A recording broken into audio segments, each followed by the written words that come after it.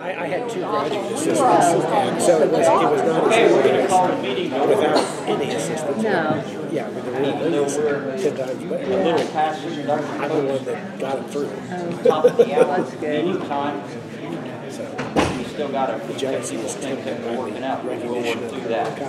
So, first thing on the agenda is to announce our alternate proxy representatives. The alternates and proxies that I've received already are Mandy Lopez for Fabio Del Piero, Paula Arai for Stuart Irvine, those are the alternates. Proxies, Alicia Latham for Kwame Agiman, Cindy DiCarlo for Priscilla, Priscilla Allen, Gregory Sills for Kelly Kelly, Chip Delzell for Julia Lede, Chris Barrett for Brian McCann, Weisheng Wang for Nikki Pace, Nan Walker for Tracy Court, Baba Sarker for Suresh Rai, Mustajab Mirza for La- Laura Riggs, and Chris Barrett for Rachel Stevens. Are there any other proxies or alternates for this meeting? Okay. If you haven't signed in in the back, both either guests or faculty senate members, then please do so. And there's also copies of all the uh, items that we need to discuss for today. The next item is for the guests to introduce themselves. And so, Sumit, if you would start, introduce yourself, who you're with. Sure. Um, My name is Sumit Jain. I am the Director for Information Security for LSU A&M. Uh, I serve as the Chief Information Security Officer for LSU A&M. I'm John Moore, I'm the Deputy CIO for Information Technology Services. Tom Glenn with the Student Systems Project. Do we have any other guests today? I'm Daniel Lazar, I'm Vice President of Development. of Local News. Okay? And I'm Julie LeFebvre, I'm the Senior Director of Annual Giving at the LSU Foundation. Any other guests? All right, thank you. Susanna, do we have anybody register for public comment? Okay. Uh, The next item is to consider our August 29th, 2018 minutes. And as you'll note, uh, we've tried to just give the highlights rather than the word-by-word narrative.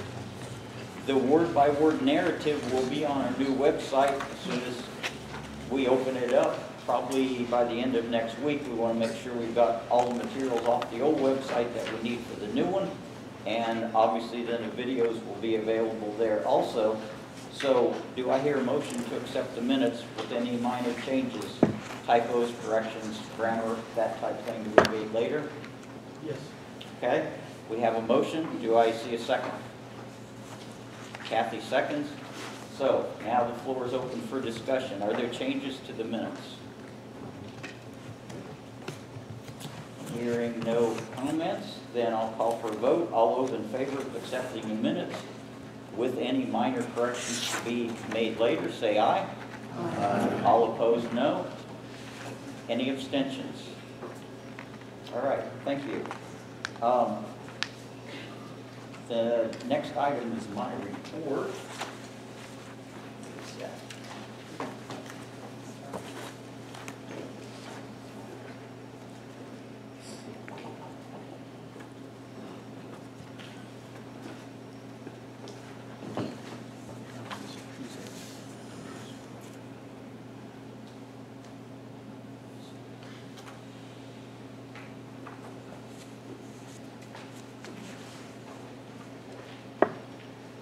And so I want to welcome the new faculty senators uh, who were not here the, the last meeting due to a a glimpse, glitch and miscommunication between me and science. Okay. Now I don't know how. I knew, I knew it was a reason why I invited the IT people here. Thank you, Senator. Um,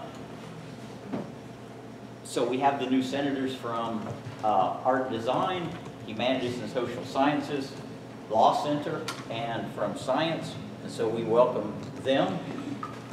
I failed to mention last meeting, some of you discovered by necessity and others because you wanted, the restrooms are through that door and all the way at the end of the hall. Or if you're sitting in the back and you don't want everybody to know where you're going, you can walk all the way around and still get to them past the elevators, okay? Um, So, I said we would have a revised faculty senate website. Susanna has got it almost ready to go. And then because we're not sure that we can have both available, we want to make sure that our old website is, uh, the information is available. So we're obtaining a large enough hard drive so we can download all of that information uh, so that we don't have any problems on that. Last time, we talked about getting prices and quotes for faculty senate apparel, and so Susanna is also doing that so that we'll at least have that available, and then we can decide, yes, we do or don't, and who wants to buy or not buy. Building coordinator lists are on that website, uh, bc.lsu.edu. Some of you have requested that information.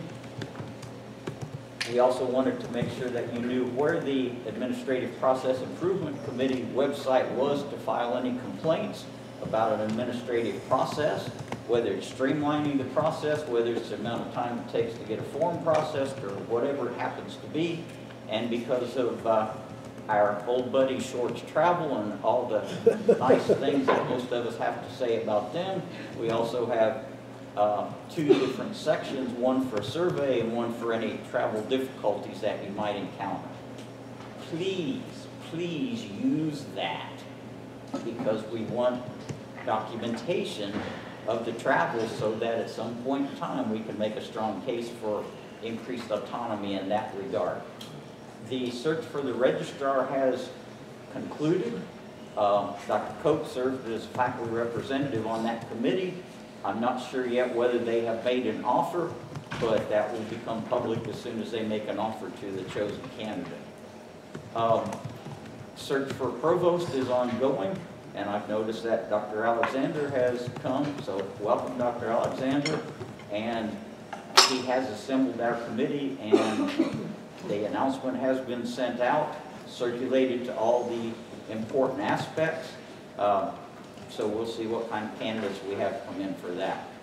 The candidate interviews for Associate Vice President for Public Safety will conclude on Monday, and the Faculty Senate Executive Committee has been involved in those aspects so far. And most of the committee agrees. We have two very worthy candidates. If the third candidate comes in and is, uh, has, has the same credentials and the same uh, abilities, then that will be one of the hard choices that we have. Just to refresh your memory, that Associate Vice President for Public Safety will be in the Office of Finance and Administration, but they will eventually coordinate public safety across all the campuses. So they'll start with the A and M campus first, help us solve some of our difficulties, coordinate things like traffic and safety with the police department, with uh, environmental health and safety. And once that's accomplished, then they'll be working with the other public safety units on the other campuses. Uh, Obviously, of immediate concern is game day traffic and how we handle that, tailgating, how we handle that. So there's lots of coordination that, that uh, will occur under that scenario. We believe we are finalizing our animal and society forum, and in that regard, it will be next spring. We've not set the final date. It'll be somewhere around the third week in February. We've contacted the keynote speaker. We do have the funding that we need, uh, compliments of the provost office and our faculty senate budget and the vet, School of Veterinary Medicine. So we'll be sending out more announcements about that. Uh, It's intended to be a campus-wide, community-type forum. Uh, In that regard, we also have a Beyond the Ballot, and I talked about that last time. We're almost finalizing the agenda for that two-day meeting, and so in that regard, that will be in regards to elections, turning out voters, what issues are important to voters, and those type aspects. you received a form, if you picked it up, about faculty training, seminars, and workshops. These are some of the topics that we believe some faculty might be interested in. So please fill that out, put a check mark in whatever slot fits, and if you think for sabbaticals, how-to, and the different types that are available, then if you don't have any interest, put a check there. But if you say, oh yeah, I might be interested, and my colleagues most certainly would be, put checks in those appropriate slots. And there's a space at the bottom. If you've got other seminars, training, et cetera, that you think faculty should be involved in, then by all means, put that down. Right now, the accessibility for online uh, materials, we're negotiating with strategic communications on who's going to give the training and how fast that training is going to occur for faculty members. That's why it's not on there because we're already in the midst of that. And the other aspect will be on Moodle, depending upon how fast they make progress with Moodle rooms and those type aspects. So are there any questions about that and what we're actually asking for? Yes? You, you want us to turn this form right now, No, you can turn it at the end of the meeting, the end of the meeting? Yeah. and you can either leave it in place or put it at the back, or at the close of the meeting, wave your hand and I'll come get it, or Susanna will get it. Yes, we're pretty, that's a good question. Uh, Faculty Adjudication Committee, there's also a sheet for nominations for committees. So I'm still looking for candidates. The first two are probably, in some aspects, the most important and most urgent. We do want to get the Faculty Adjudication Committee back and up and running. Some of you have very graciously nominated yourself or your colleagues. If you want to nominate yourself or a colleague, that's why there's an open slot there for you to do that. And also then, we're looking for Administrative Process Improvement Committee members. That one has to be a faculty senator because that's the way the committee is set up. So I need one of you to volunteer for that.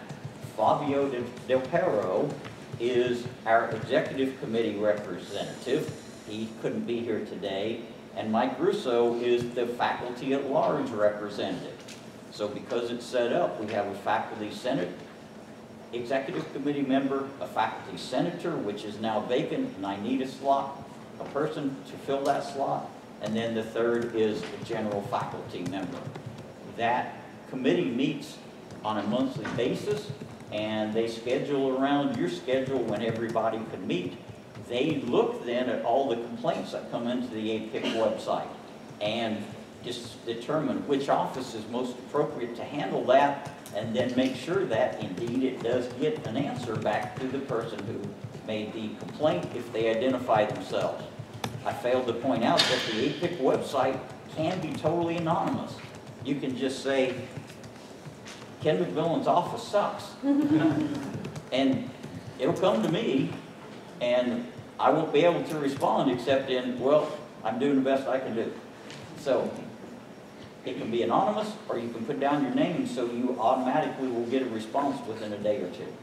And that committee has functioned really well. Um, I think Sandy Gillingham is still, uh, I know that Tyler is chairing that committee, and Jane now is chair, Dr. Cassidy is chairing that committee, and they've been as diligent about making sure that responses are given as when the committee was set up four years ago. Um, I'm also looking for faculty liaisons with staff senate and student government.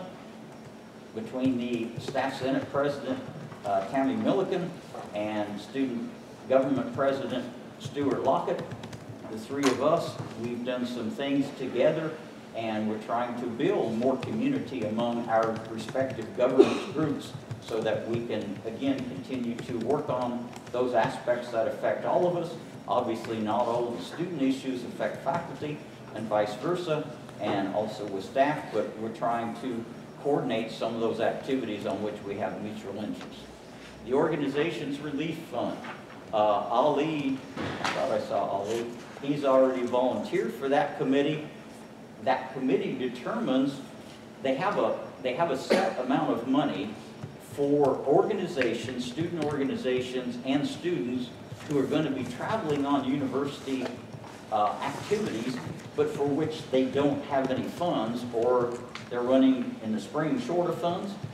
That relief committee then determines what are appropriate levels of funds and what are appropriate events to provide that additional funding. So it's kind of a supplemental to uh, a normal organization's budget and travel or uh, activities, whatever. Parking Appeals Committee, I need a couple of members for that. Some of you might be in need of that sometime during the year. Uh, So that's an important committee. And then last but not least, uh, I'm still soliciting names for fac- faculty athletic representative. You'll notice that I've said it has to be a senior faculty member. It doesn't absolutely have to be a full faculty member, although we would prefer that, but it has to be somebody that's been around for a while, because that person represents the university to NCAA and SEC. So we're looking for somebody who can devote up to five to seven hours a week, depending upon the week, and there is a fair amount of travel, so we're looking for the right individual to fill that slot. Um, Bill Demastes has been our most recent uh, faculty athletic representative, and so that's why I sent you the job description. He did a very good job of explaining, this is what the faculty athletic representative does, There's the responsibilities. Obviously, it's a flexible time, because when you're away for three or four day NCAA meetings, then it's like going to a conference or whatever. So, Dr. Alexander, would you like to add any comments to that, since the faculty senate will nominate three or more individuals, but his office will actually pick who that representative is going to be. Well, that, that representative is, actually does a lot with us and, and for us. And as you know, intercollegiate athletics, and Bill has been, done a great job, and we hate to see Bill step down from that position, but he's well respected throughout the country and, and in the SEC and in the NCAA. Uh, but that person, person needs to have a balanced view of athletics, and that means pro and con understanding that a lot of the issues that Bill come across his desk um, are issues that you, you, you might read about it in a newspaper. Uh, But also with everything brewing right now in intercollegiate athletics, from the O'Bannon case to, that could go all the way to the Supreme Court, uh, likeness and image for EA Sports, there's a lot of stuff out there that's going on right now that throws intercollegiate athletics into a real big question mark. So this is a very important position for us uh, as we go forward, but because of all the national, national issues associated with intercollegiate athletics. Thank you. Any questions for Dr. Alexander about that? If you note, we haven't, except for a few incidences that haven't been with the academic side of athletics, we haven't had any difficulties for, how many years, Kevin? So that's one of the major roles of the faculty uh, athletic representative is to make sure that our compliance office and our president's office and the faculty senate and the athletic department are all in sync on what our student athletes need to do in the classroom and academics. One, to be eligible, but two, also so they just participate and don't cause any difficulties. So the three biggest issues athletically really don't have to do with academics. It's Michigan State, Ohio State, and the University of Maryland. But the big one before that was Chapel Hill. And that one has tarnished UNC Chapel Hill, and they're still living with the aftermath of a strictly academic issue that had been going on for about 10 years. Our, our, our student athletes understand what it means to be a student first and an athlete second. And yet we're still successful in most all of our sports. So that speaks pretty highly of our institution and the people that we have in all of those representative um, places.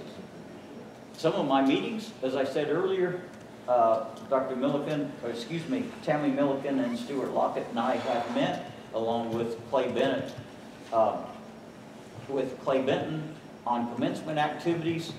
we want to have a little bit more faculty involvement, more staff involvement, and to make it a little bit more meaningful, at least the main ceremony for those attendees.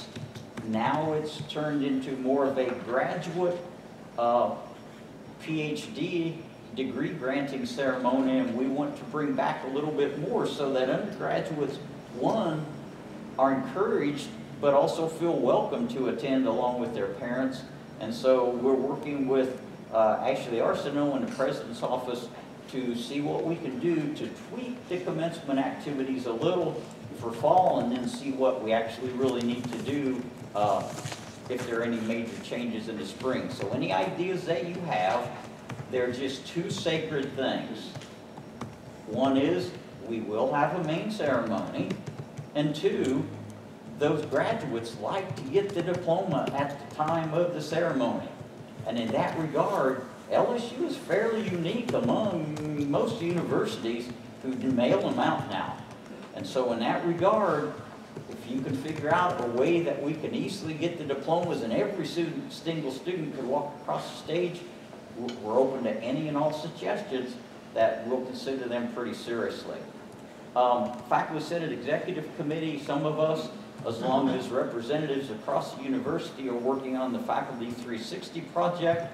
That obviously is the digital measures, evaluation, and annual report process. I don't want to hear any bad things. They're making progress. We still got a long ways to go. So in that aspect, we're trying to streamline, we're trying to synchronize, we're trying to coordinate, and things like that just take time when you've got lots of disparate departments who want to use that information for many different purposes. Uh, We had the Association of Louisiana Faculty Senates, uh, jointly with American Association of University Professors, LSU, uh, Louisiana chapter on September 8th. We had that at LSU Alexandria, and we were fortunate to have uh, Dr. Kim Hunter Reed, who's our new Commissioner of Higher Education, come and speak to us. And she was quite candid about some of the things that the Board of Regents is doing right and some of the things that they're going to tweak in the next, uh, next few months. And so in that regard, we were pretty satisfied that she is going to be a good candidate and a good, strong advocate for higher education. Uh, Jose Aviles will come in a few minutes, so I don't want to say too much about uh, our admissions holistic standards. It's received lots of press, probably undue press. So I'll just tell you right now, we're not lowering standards. What we're doing is students who don't meet our minimum standards, we're taking a second look at are there extenuating circumstances on why they may have a 21 instead of 22, or they don't have the grade point that we would expect, or in some cases, yeah, they haven't met the Louisiana core because out-of-state students don't have to meet our Louisiana core to graduate. Yet, if a student has a 30 and a 4.3 grade point average and they're missing one course, we don't want that student to come. So those are some of the aspects that the paper and the media still haven't picked up on. I don't understand why it's so hard for them to get the facts straight, but they seem to have difficulties in doing that. So as a result, we did meet over in the president's office and discuss some of these differences uh, in how the media is portraying it versus what actually is going on. And then Jose will be here. He's coming in to Baton Rouge from another meeting. Uh, so we're probably, oh, Jose, you're here. Thank you. Um, I wonder why you're out of breath. um, so he'll be here uh, speaking to us in just a minute. Uh, last but not least, uh, I said that we interviewed with the Associate Vice President for Public Safety candidates, and we think that they are uh, going to be working re- really well for us. So with that, I'll conclude. Are there any questions? Okay, then uh, I've also met with interim provost Haney uh, on several occasions. I did meet with Caleb Green, and some of you saw my comments where I expressed uh, exactly what I said about the uh, admission standards and what we're doing with holistic review. Um, Obviously, I have met with the steering committee for a presidential symposium beyond the ballot. That's, uh, we met on September 14th. That is scheduled for October 29th and 30th. And then yesterday, take that, yeah.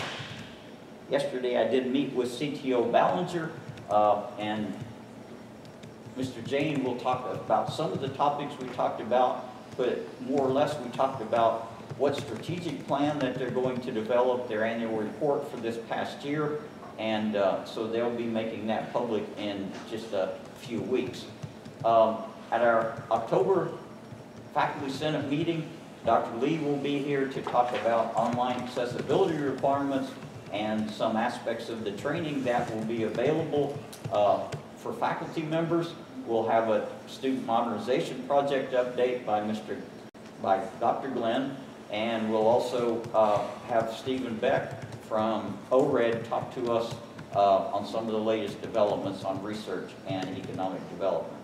So with that, I will close and someone, no, let, let's go with Jose. We'll follow the order. So Jose, if you're ready, then uh, we'll let you talk to us about the aspects of, uh, I have a question about that last slide. Is our meeting on the 20th or the 12th? What? October 20th is a Saturday. It's the 22nd. It's the 22nd. 22nd. Twenty-second. Okay. yes, 22nd. Thanks for catching that. You, you get an A minus for today. Yes, you can.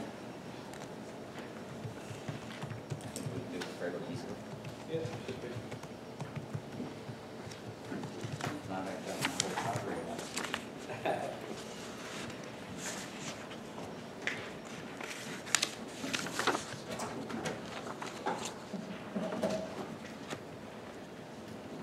Sure, all right, excellent. Um, oh, you got that? Thank you. All right, well, good afternoon. I'll let you introduce yourself as the Vice President for Enrollment Management. Yeah, very good. Thank you so much, President. Good afternoon. Um, Yes, my name is uh, Jose Aviles. I'm Vice President of Enrollment here at LSU. I've just completed my, uh, my first cycle here with the team, and I have um, our Director of Admissions, Mr. Danny Barrow, here in the back, who um, has really been spearheading a lot of the execution of the strategy here um, at LSU. And you're right, um, President, I've been running around with our president, president of LSU for the last two days up at Shreveport, kind of um, working through some of the stories and some of the interest and intrigue around holistic admissions um, and the work that we've done.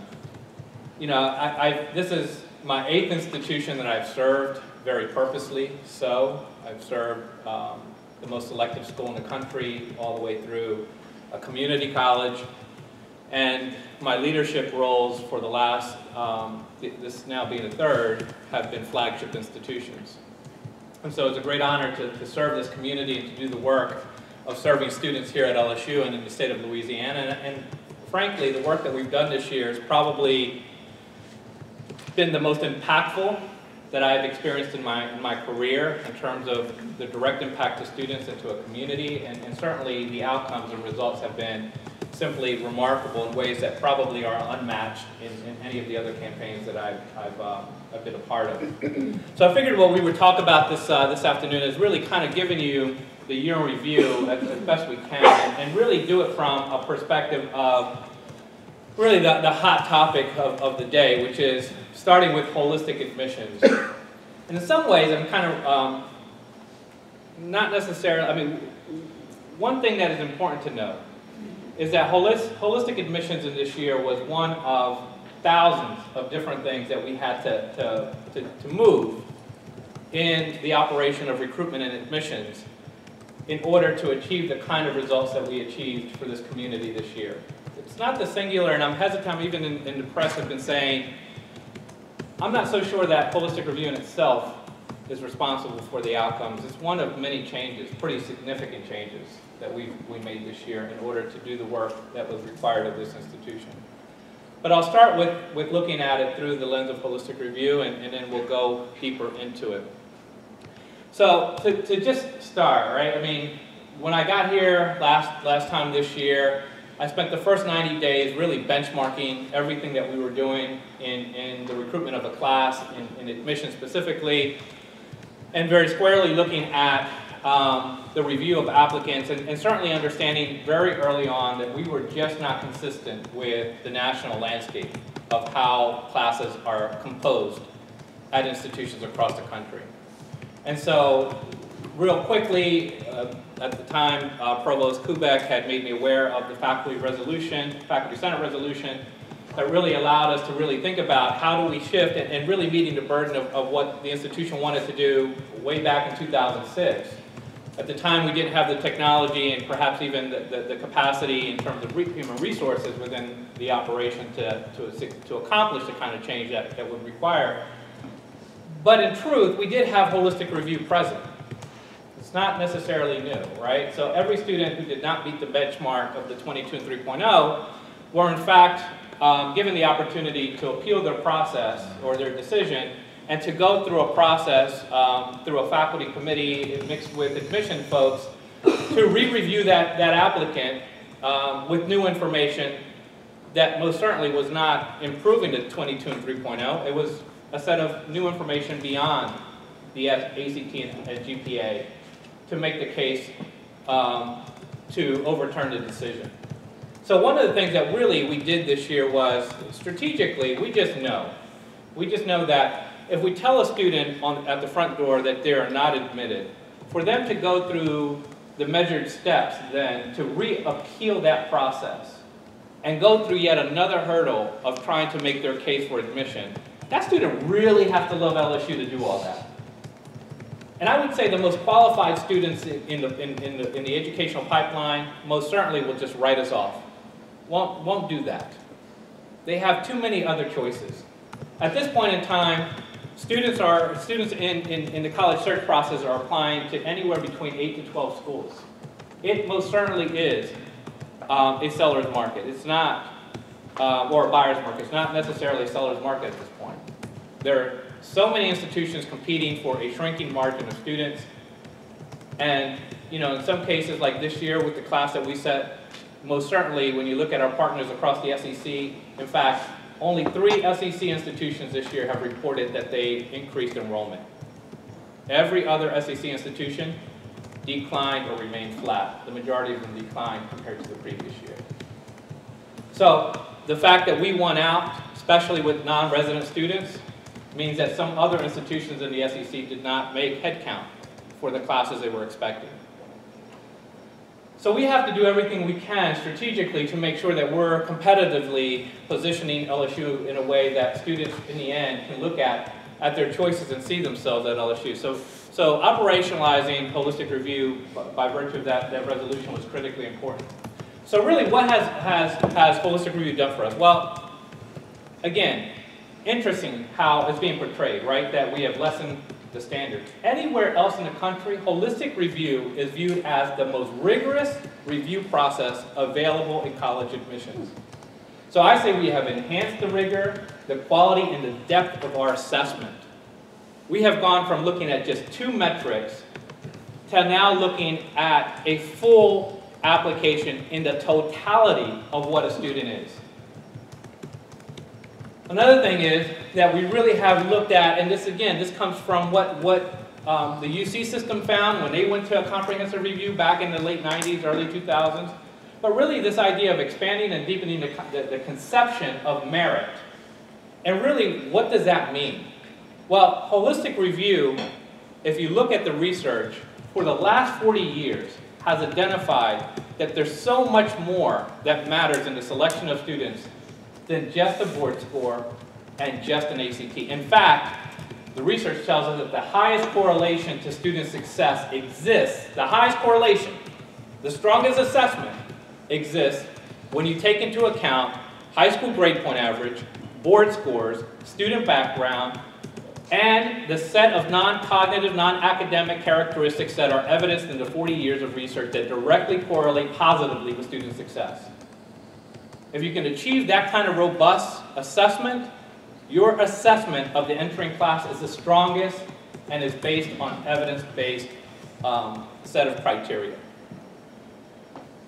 And then really, what Holistic Review also allowed us in this year to do is really to, to find access, to look for ways in which we can include students throughout the eligibility pool that really, through a comprehensive review and looking at them in their context, allowed us to really fully understand who they were in totality. This is what Holistic Review allowed us to do in this year.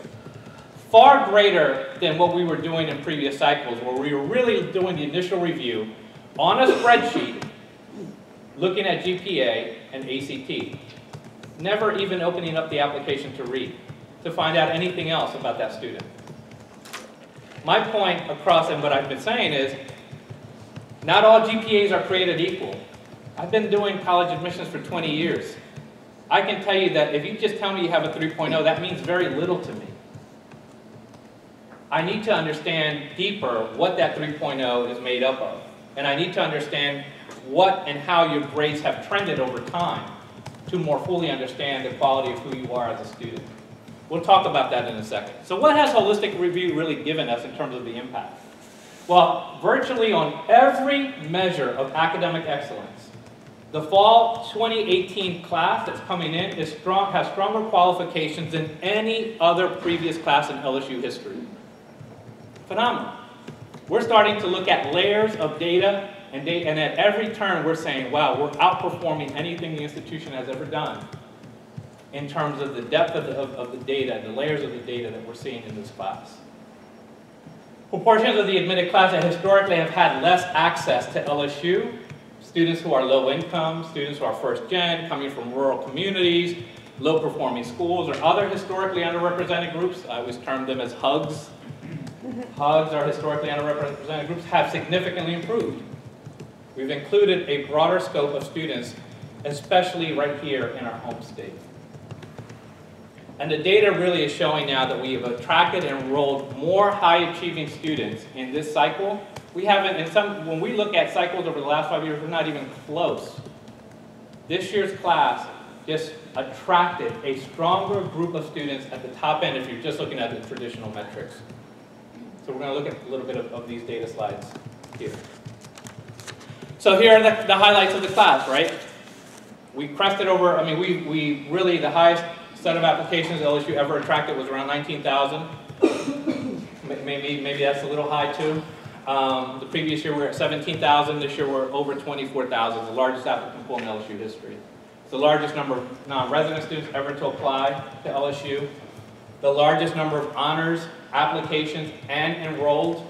To think about, a year ago we had probably about 530 or so honor students. This year we're about 750 honor students coming in. The honors class is more is 80% more diverse than last year's class with a stronger ACT and a stronger grade point average than last year's class. So again, everything that matters in putting together that community, we knocked out the park. 48% of the applicants this year identified themselves as students of color, phenomenal feat for us. And when you look at the low-income students, 27% of the class this year were, were Pell eligible students or granted the Pell, the Pell Grant, which means that really, these are the students that really have had significant struggles, and it's the highest percentage of Pell eligibility in, in any class we were brought. But we had a 57% increase in students who are Pell, Pell eligible who have an ACT 30 or above. Colleagues, what I'm telling you is, is with the, it, the most elite environments in the country, their entire agenda right now in terms of achieving diversity is trying to find a low-income student that is high achieving. We improved that metric from last year to this year by 57% more students. And of course, the final enrollment is actually, IR is going to say 5812. I'm saying 5818. They can't take six, students from me. But IR is going to debate with me. They, they say 5818. Uh, or they say 5812 is, is the final number for them. So that's the overall class highlights. This is probably a little hard to see, maybe not so much up here, but this kind of just gives you the point, the, the data of where we are with, with some of the application numbers I mentioned. I've highlighted the non-resident group here going from 832 to 1212, 45% more non-residents, 12, uh, nearly 13% more residents. We went from 4,000 to 6, uh, 4,600 um, resident students. And again, when you look at, look at the enrolled ACT, flat. Again, I can just tell you that having done this work for the last 20 years, and even as I talk to colleagues around the country and say we increased the class by 900 students, naturally, the most knee-jerk reaction is, well, if you're going to increase the class by 900 students, you're going to sacrifice quality. Our metrics aren't showing that. In fact, we have a slightly, slightly stronger GPA. Slightly, flat. With 900 more students, we matched the highest average quality of an incoming class, which is the ACT 26 that LSU has had historically. That's, again, just a phenomenal feat for this community. When you look at it from the diversity perspective, again, this has been talked a lot about, but you see that we have 46% more students who are historically under, in historically underrepresented subgroups, significant gains when you think about where we are with African, 51% more African Americans, 38% more Hispanic students, 46% more Asian. Again, just a very diverse community of students that we've attracted from all over the country to, uh, that ultimately chose LSU. This is what it looks like by college. And when you look at who's led the way here, right? And raw number science here had, went from 884 to 1106. 222 more students. Go science, phenomenal, right? HSS, 142 more students, and business, 119 more students. But we had growth everywhere. We can do better with Coast, and we know that. We've been talking to Chris and, and, and his staff, Dean D'Elia.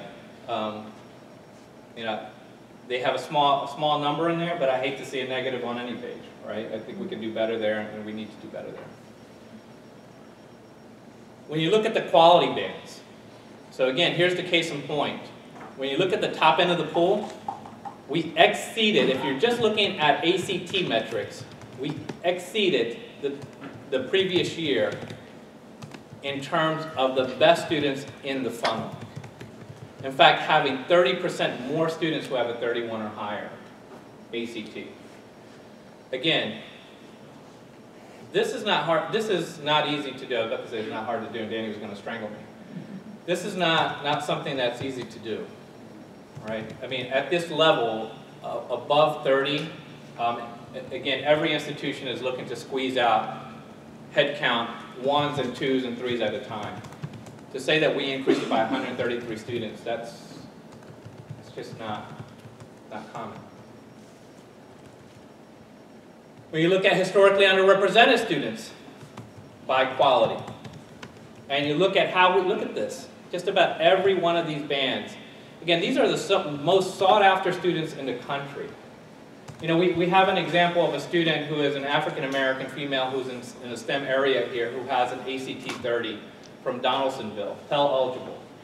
Has all the markers on anybody's applicant pool, she would be somebody that's highlighted and saying that we got to win out on this one. She, won, uh, she uh, had a full ride to Notre Dame, could have gone to Notre Dame, but decided to come to LSU in the final analysis. In the final hours, April 30th, right before we, she had to finalize her decision, chose LSU over Notre Dame.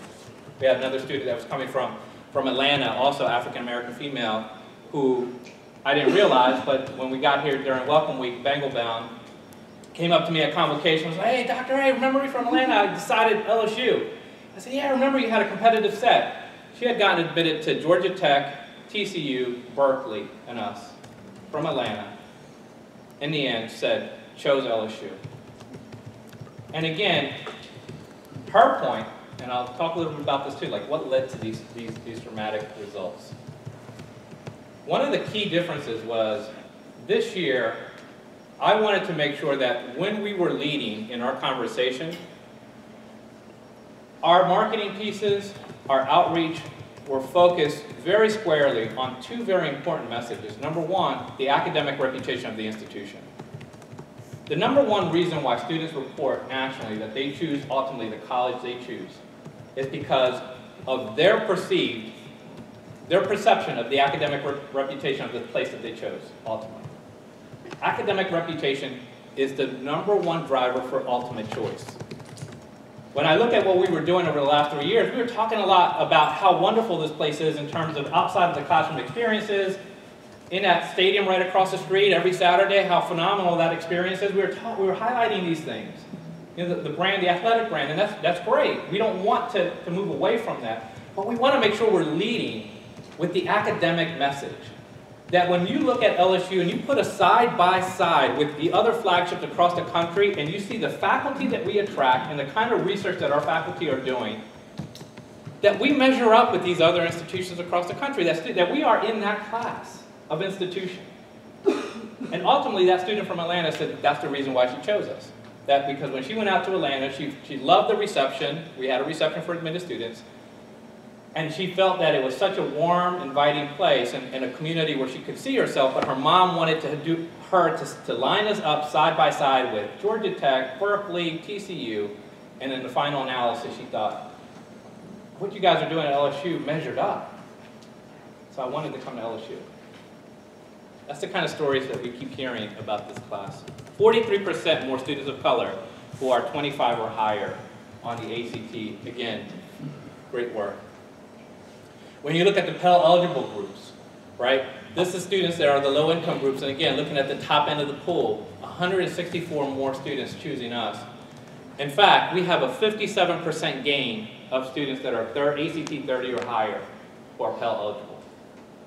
So again, just work that is just, it's just not, it's, it's probably never, it's, I don't know if it's ever gonna happen again in my career. It was just phenomenal growth, you know, when you think about some of the successes in this class.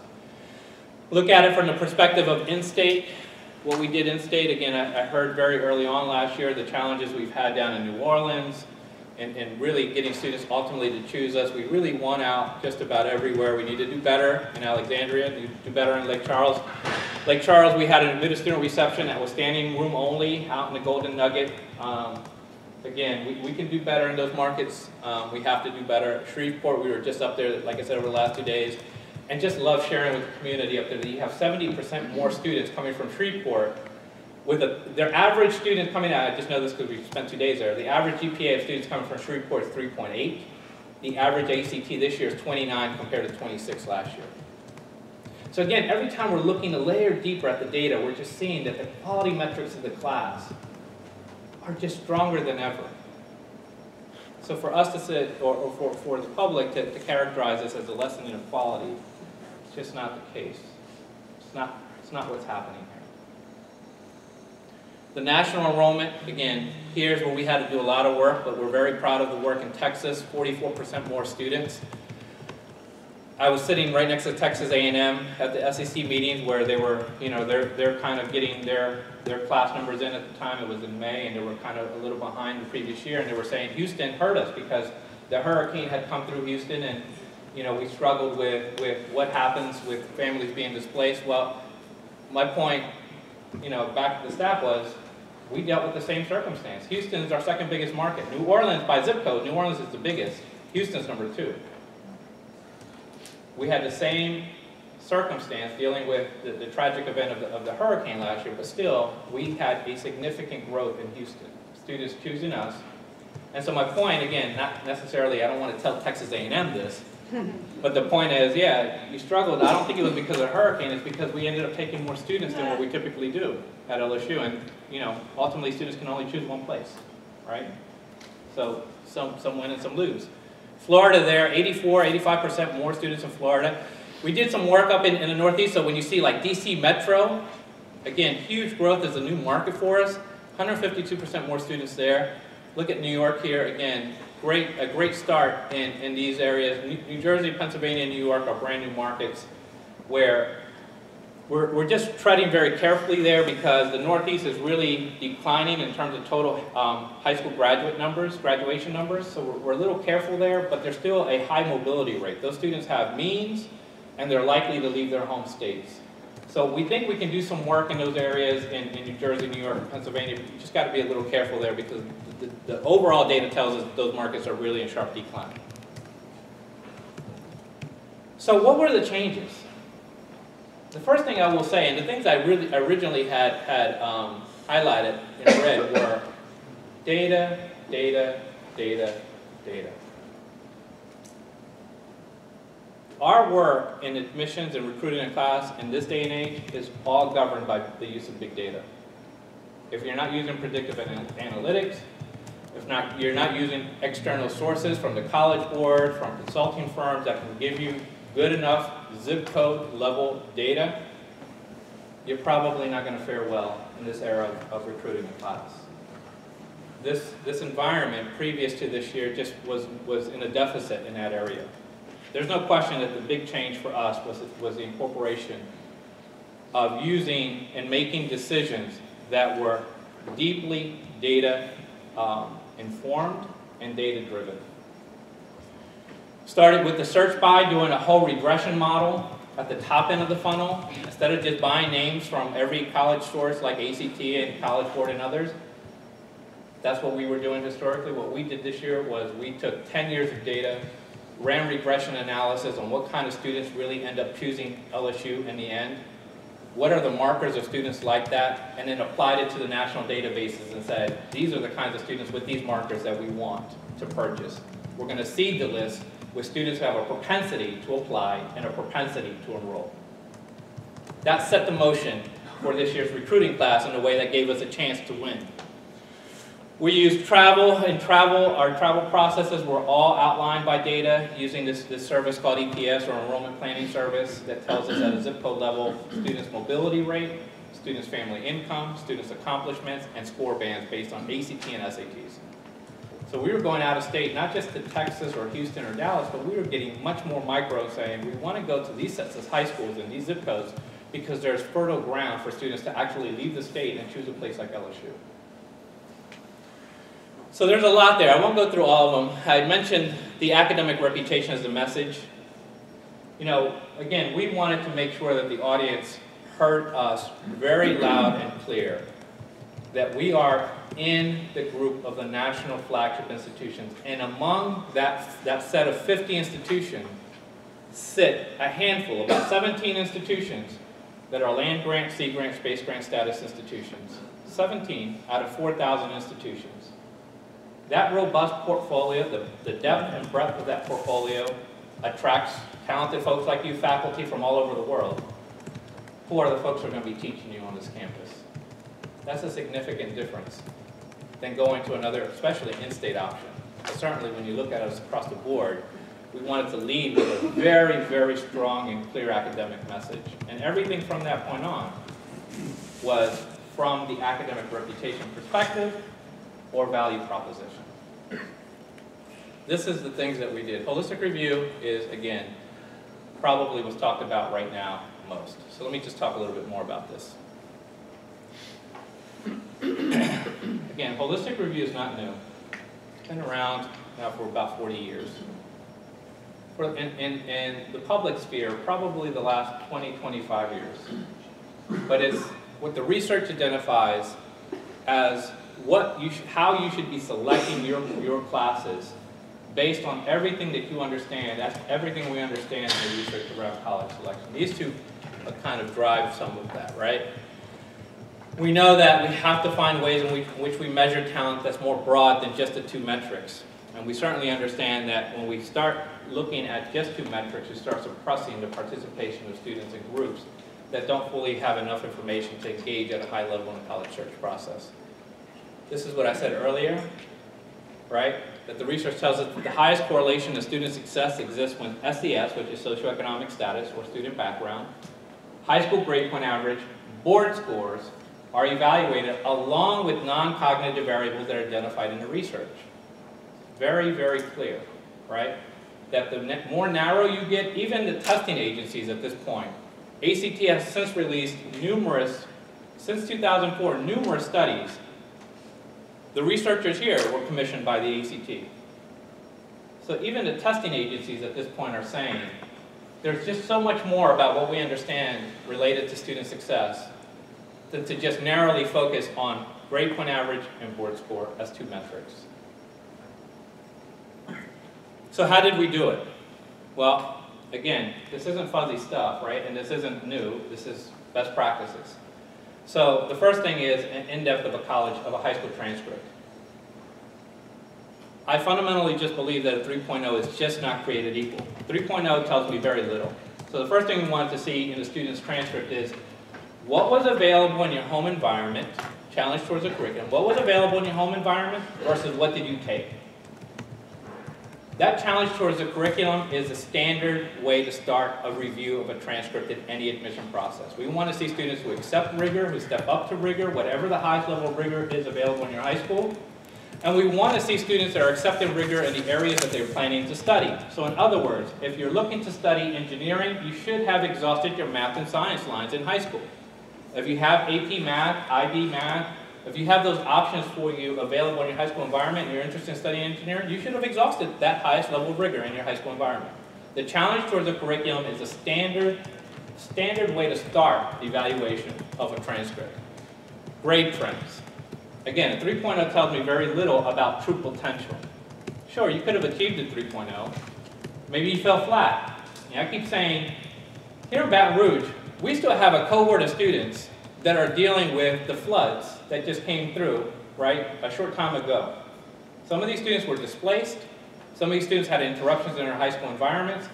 If we're just holding all students to 3.0 and saying your talent is measured on that bar, and not willing to take into account the fact that you've gone through some pretty catastrophic situations in your life. For us, we want to look at the grade trends. Our students really, are, is there something that we can understand by deeper review? If you don't have that 3.0, is there something that we can understand when we do a deeper review? Are your grades going up? Are they getting stronger? Are they going down, which is not good and we don't want to see? Or is, it, is there something that we need to understand because your grade trends are mixed? Like an unfortunate situation that I just described. Senior year schedule. The research is very clear about this. Senior year in terms of correlation of student success. That senior year course load in the research has been over and over consistently pointed to as critically important. The rigor of that senior year matters in terms of your success in a college environment. So if you decide to go off to a field experience and take half a day in your senior year, instead of taking a full seven courses and stepping up to the highest levels of AP, IB, honors, whatever that highest level of rigor is in your home environment, that matters. The research bears that out. So again, just because you have a 3.0 does not tell us enough, right? And then preparation for major area of study. Again, if you're looking to be in a science-based area, then we need to see the strength of curriculum in that area. Same is true for writing or any other area that you want to study. Your strength in course selection should mirror what you're saying you're interested in studying. So that was the first thing we did. The second thing is a qualitative review of essays and recommendations. Again, I'm not interested in reading a good story. Um, essays and recommendations oftentimes are characterized this way. When you look at the institutions that have even moved to test optional, there's nearly a thousand institutions that have moved and become test optional, so don't even use the exam anymore. And their success metrics have either stayed steady or have increased. They're not declining. The core of their evaluation is based on this research, these non-academic variables. So again, if you're not at a 22 and 3.0, I'm, I'm not looking for a good story or explanation, but I am looking for these things, right? 40 years of research, and these non-academic variables, the seminal researcher there is Bill Sedlacek from Maryland, who's really kind of helped outline for admission offices across the country. What are the things we should be looking for? Well, now these variables over the last 40 years have been optimized in practice and have been used broadly across the country to aid in selection of students based on characteristics of a student portfolio that directly correlate with success in a college environment. These are the, the, the research evidence characteristics that are put out there. Again, I won't go through all of these. All of these we can measure for. In fact, when we ask for students to submit supplemental essays or recommendations because we want to know more, we're asking questions that align with these variables. We're not asking for just an explanation, but we're asking questions that prompt us to be able to assess students based on evidence of these characteristics. And then the newest research is grit. That's what most, if you kind of listen to any anyone talk about college admissions right now, grit is the trendy research.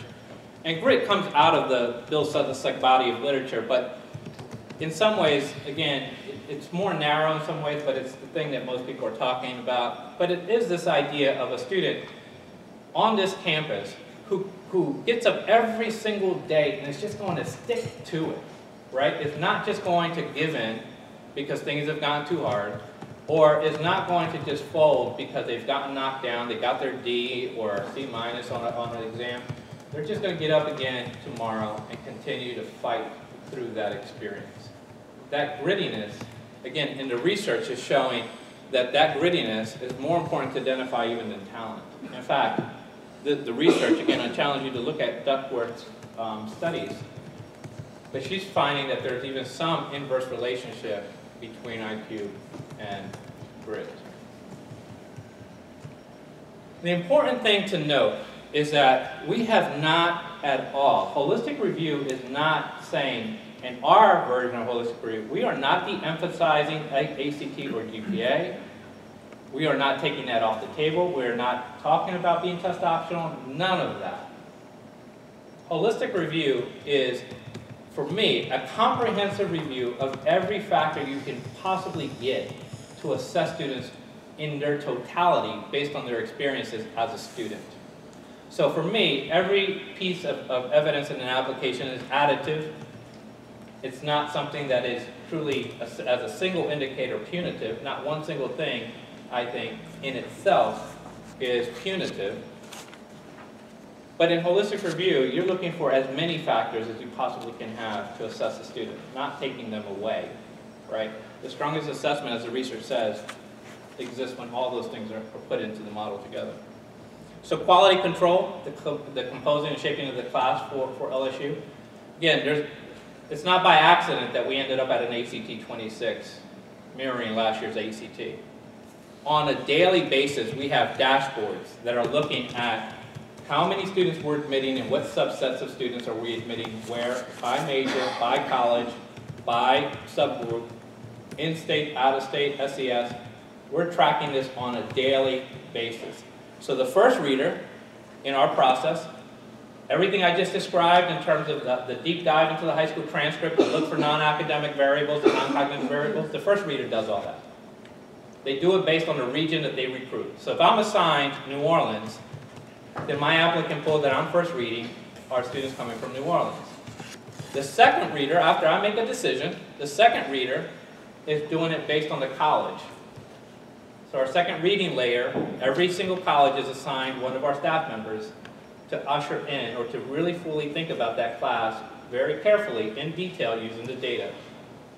There could be a disagreement between first reader and second reader. First reader might say, yes, I believe in this kid. Second reader might say, no, you know, when I look at this, I don't agree. And that student goes into a committee review to finalize that decision. We maintain a very close eye on the profile of the admitted class, like I said, on a daily basis, and it really allows us to shape the class for each discipline appropriately. For example, it does matter, you know, I've heard it all my career for the last 20 years, improving women in STEM is critical, right? So do we see students who we think have the potential, promise and potential, we need to fully understand that student in their totality in that discipline? Yes, the answer is yes. So this is a quote that comes out of um, the WICHE report. WICHE is the West, Western Interstate Commission for Higher Education. They do all the enrollment projections nationally for enrollment environments across the country. And in 2013, they put out the projection set that was really a concerning projection set. I'd say there's a tremendous amount of opportunity, but what I also will say is that for flagship institutions like LSU, the WICHE report and what they released in 2013 sets the context for the challenge of what we're in over the next decade or two. In their closing um, argument, they're saying for higher education that the status quo is just no longer sustainable. Especially for public institutions, we have to find ways in which we are including students in their participation by adequately measuring them on the front end, not creating arbitrary standards, and making sure that students are participating in such a high, at, a rate in which, first of all, that they're ready, they have the promise potential to be successful on your campus, and number two, that that student can come on, participate in your campus, and graduate from your institution, right? that we just are needing to really understand the, the, situation that we're in nationally and what we're heading into over the, the next two decades. So, those are the slides that I have. I'll take any questions that, that we, um, that you might have or I can address. Certainly invite the president also to, to be able to, if there's any questions that go beyond, so my responsibility to talk about those. Jose, if I just add a couple points. Um, I'd like to say we're real innovative with this. Uh, We might have been a little more innovative if we'd adopted what the Faculty Senate resolution did in 2006, which said to move in this direction. But we didn't have the tools or the technology or the personnel really to do it. Now that we can, we're kind of on the back end of this. Uh, There are only eight uh, flagship institutions in the country that haven't adopted this, and there's only two in in the top 50 public universities that we know of, that actually the other 48 have adopted holistic. Uh, There's one distinct difference, we tell the op-eds, unlike an Ivy League that does holistic, or a number of the Chapel Hills or the Virginias, who have a finite set of freshmen, we have room to bring in out-of-state students to help our in-state students as well. And when we took a look at who we might have rejected or had been rejecting, we were, the out-of-state, about 25 to 30 percent are international students and out-of-state students that we were rejecting that would have gotten a rejection letter, and then we would have said, but you can still go through the appeals process. It's the student from Washington State, from Seattle, with, a, and Ken mentioned it, a 4.3 grade point average who had a 32 ACT. Last year, we would have rejected the student and said, you, you can go through the appeals process. And I'm sure this person was getting offers from anybody, all over the country. And, and I think of our daughter who got, and the reason we rejected him is because the state of Washington's core curriculum doesn't match Louisiana's.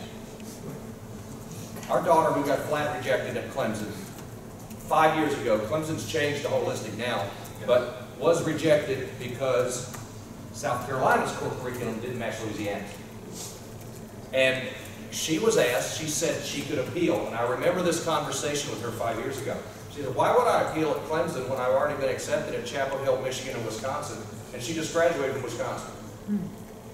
And so it, when you delve into this, international students who have different standards, I, I think of Oxford, where the highest grade point average you can have at Oxford is a first. The third is the lower. It's completely reversed.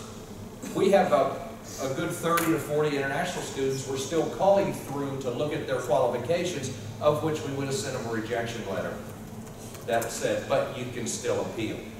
That, there are those that are writing locally that think that that international student from South Africa or China has also applied at a bunch of other Louisiana schools. That's not true. I guarantee the student in Seattle who's now enrolled here didn't apply at a bunch of Louisiana schools.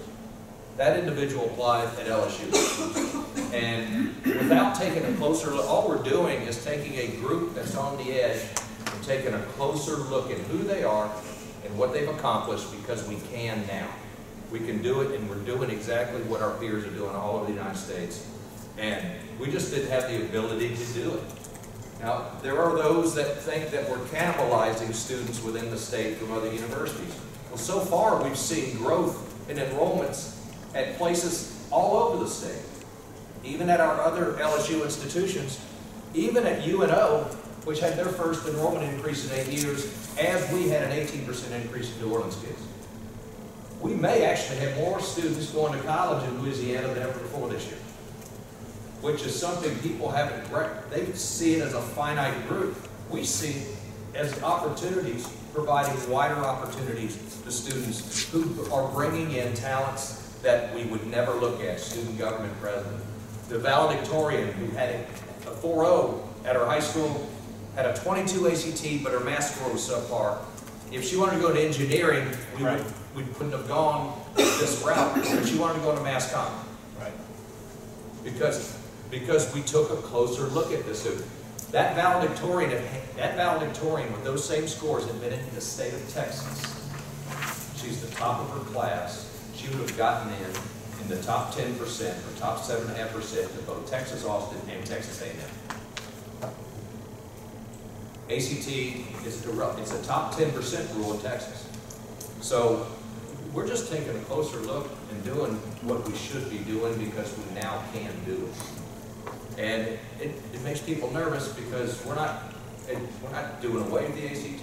We're not doing away with grade point averages, we just have better tools and a better way to analyze what these students have accomplished. They, they lost their home in the flood. They fought two tours of duty in Afghanistan and had a 2-9 and not a 3-0. We want to know these things about these students. And that's, that's why this class is so robust and it hasn't, we haven't declined any. And at the end of the day, we're talking really about, we took a look at about 3,000 of 25,000 students. And we're talking about 400 students, of which 25% of those are those international and out-of-state students whose core curriculum didn't match Louisiana's. So, and we would have rejected them two years ago. They would have been rejected because they didn't meet core curriculum standards and those two figures that we placed everything on. So that's really, it's not complicated. We took that appeals process that nobody used, and we simply said, we'll do it and take a closer look at it and on the front end, before you have to worry about going through an appeals process after we rejected you. And we're just doing what, what Chapel Hill does. We're just doing what Florida does, what Georgia does, even West Virginia, Kentucky, Tennessee. So it's not, it's not a, a, a number of application issue. It's just, it's just a deeper look, more comprehensive look at the students who apply. So, question, yes? The quality characteristics of these students, how do you measure those things? Just by guesswork, by reading these things, or is there any other more scientific way of evaluating them? Because you are adding GPA, SESS, and other scores. Yeah. But traditionally, again, when, when you get to, to really being able to do this the way that, that institutions do it, all those things become quantitative, right? You assign a score to every single one of those categories. Again, this year we had a smaller number of students that we did that, that we did that, that for. Really, we were looking more at overall the high school transcript. The biggest part of our evaluation this year was the deeper dive into the high school transcript. So again, looking at how many courses that they have at the highest level of their curriculum, and how many of those courses does the student, you know, attempt to take, and what were their grades? One of the most common questions I get from families all the time is saying, well, should my student step up to an AP class and get a C, or should they stay at the honors track and get an A or B? And my answer to them is, that's not, the, that's not, that's not the question. I want your, your child to, to take the appropriate rigor based on their conversation in their home environment with their teachers and guidance counselors. Ideally, for competitiveness, I would want them to step up to AP, and I would want them to see, to, to, to get to that A or B level in that rigor course. So this year, it was more the deeper review of the transcript more than anything else. What was available, what did they take, what were their scores, and how did that align with the area that they're suggesting they want to study on this campus? Uh, um, coefficient for all these scores, do you generate the coefficient based on your data or do you take the coefficient from other schools? Like how much point you give to GPA, how much point you give to SES, or how much give to other things? Along with that, the reputation of the school you are recruiting from. Yes. Because the grade in all these schools are. Well, you would think, right? You would think. but interestingly enough, when, when in my previous environments, the last two flagships, students at in Temple just released a study, this Temple University, so I, I encourage you to look at their study that they just released as well. They found that when a student, when even across their home state in Pennsylvania, when they look at their students who had a 3.7 or higher GPA, that 3.7 was their was their kind of their linchpin. That was what was predicting second year retention above a 2.5 or higher at Temple. Delaware, Delaware did this whole transition too. Same thing, we found the same thing when we controlled even for the high school environment, right? So when you look at, at what students were coming out of the high school experience, GPA still predicted higher than um, SAT. What's interesting is now, I, just got the study, the, the study from, from Delaware. They, now they're looking at their predictive uh, assessment at the front end by college. They look at it by SAT and GPA. In the studies nationally, SAT and GPA together have historically measured as the highest predictor of student success. What Delaware is finding is that for, they have nine colleges, and only two colleges was that true. Every other college, high school grade point average, predicted higher than SAT and GPA for their freshman class. The two colleges that were, that, that, um, were, were high school GPA and SAT strengthened the prediction were undeclared, interestingly enough, and nursing. Engineering even had a higher prediction just using high school grade point average. So we still need to build our, our, our data, our data sets. This is the first year we're collecting all this other data that's new, right? We've never collected this data. So if you're trying to run any kind of modeling on, the data sets we have right now, the only thing we have in the system are the two, the two items, GPA and SAT. So over time, as we, as we continue to unfold this, we're going to be able to really get into a much better set of predictors. And what's going to allow us to, to do also is for the retention efforts on the backside of this, to have greater and stronger assessments of who really might struggle on this campus, and can we support them, and how do we support them. But it's going to take us probably another two, two years or so to get there. But that point of scaling up interventions, our academic affairs and enrollment have taken that to heart. I didn't, yeah, I didn't have, I, I didn't get to it, but here it is, right? We started this year. We know we have a class that has the highest markers of eligibility, the highest markers of first gen, the highest, highest markers of, of students that have, have um, from subgroups that historically have not participated at LSU. So we're not sitting still.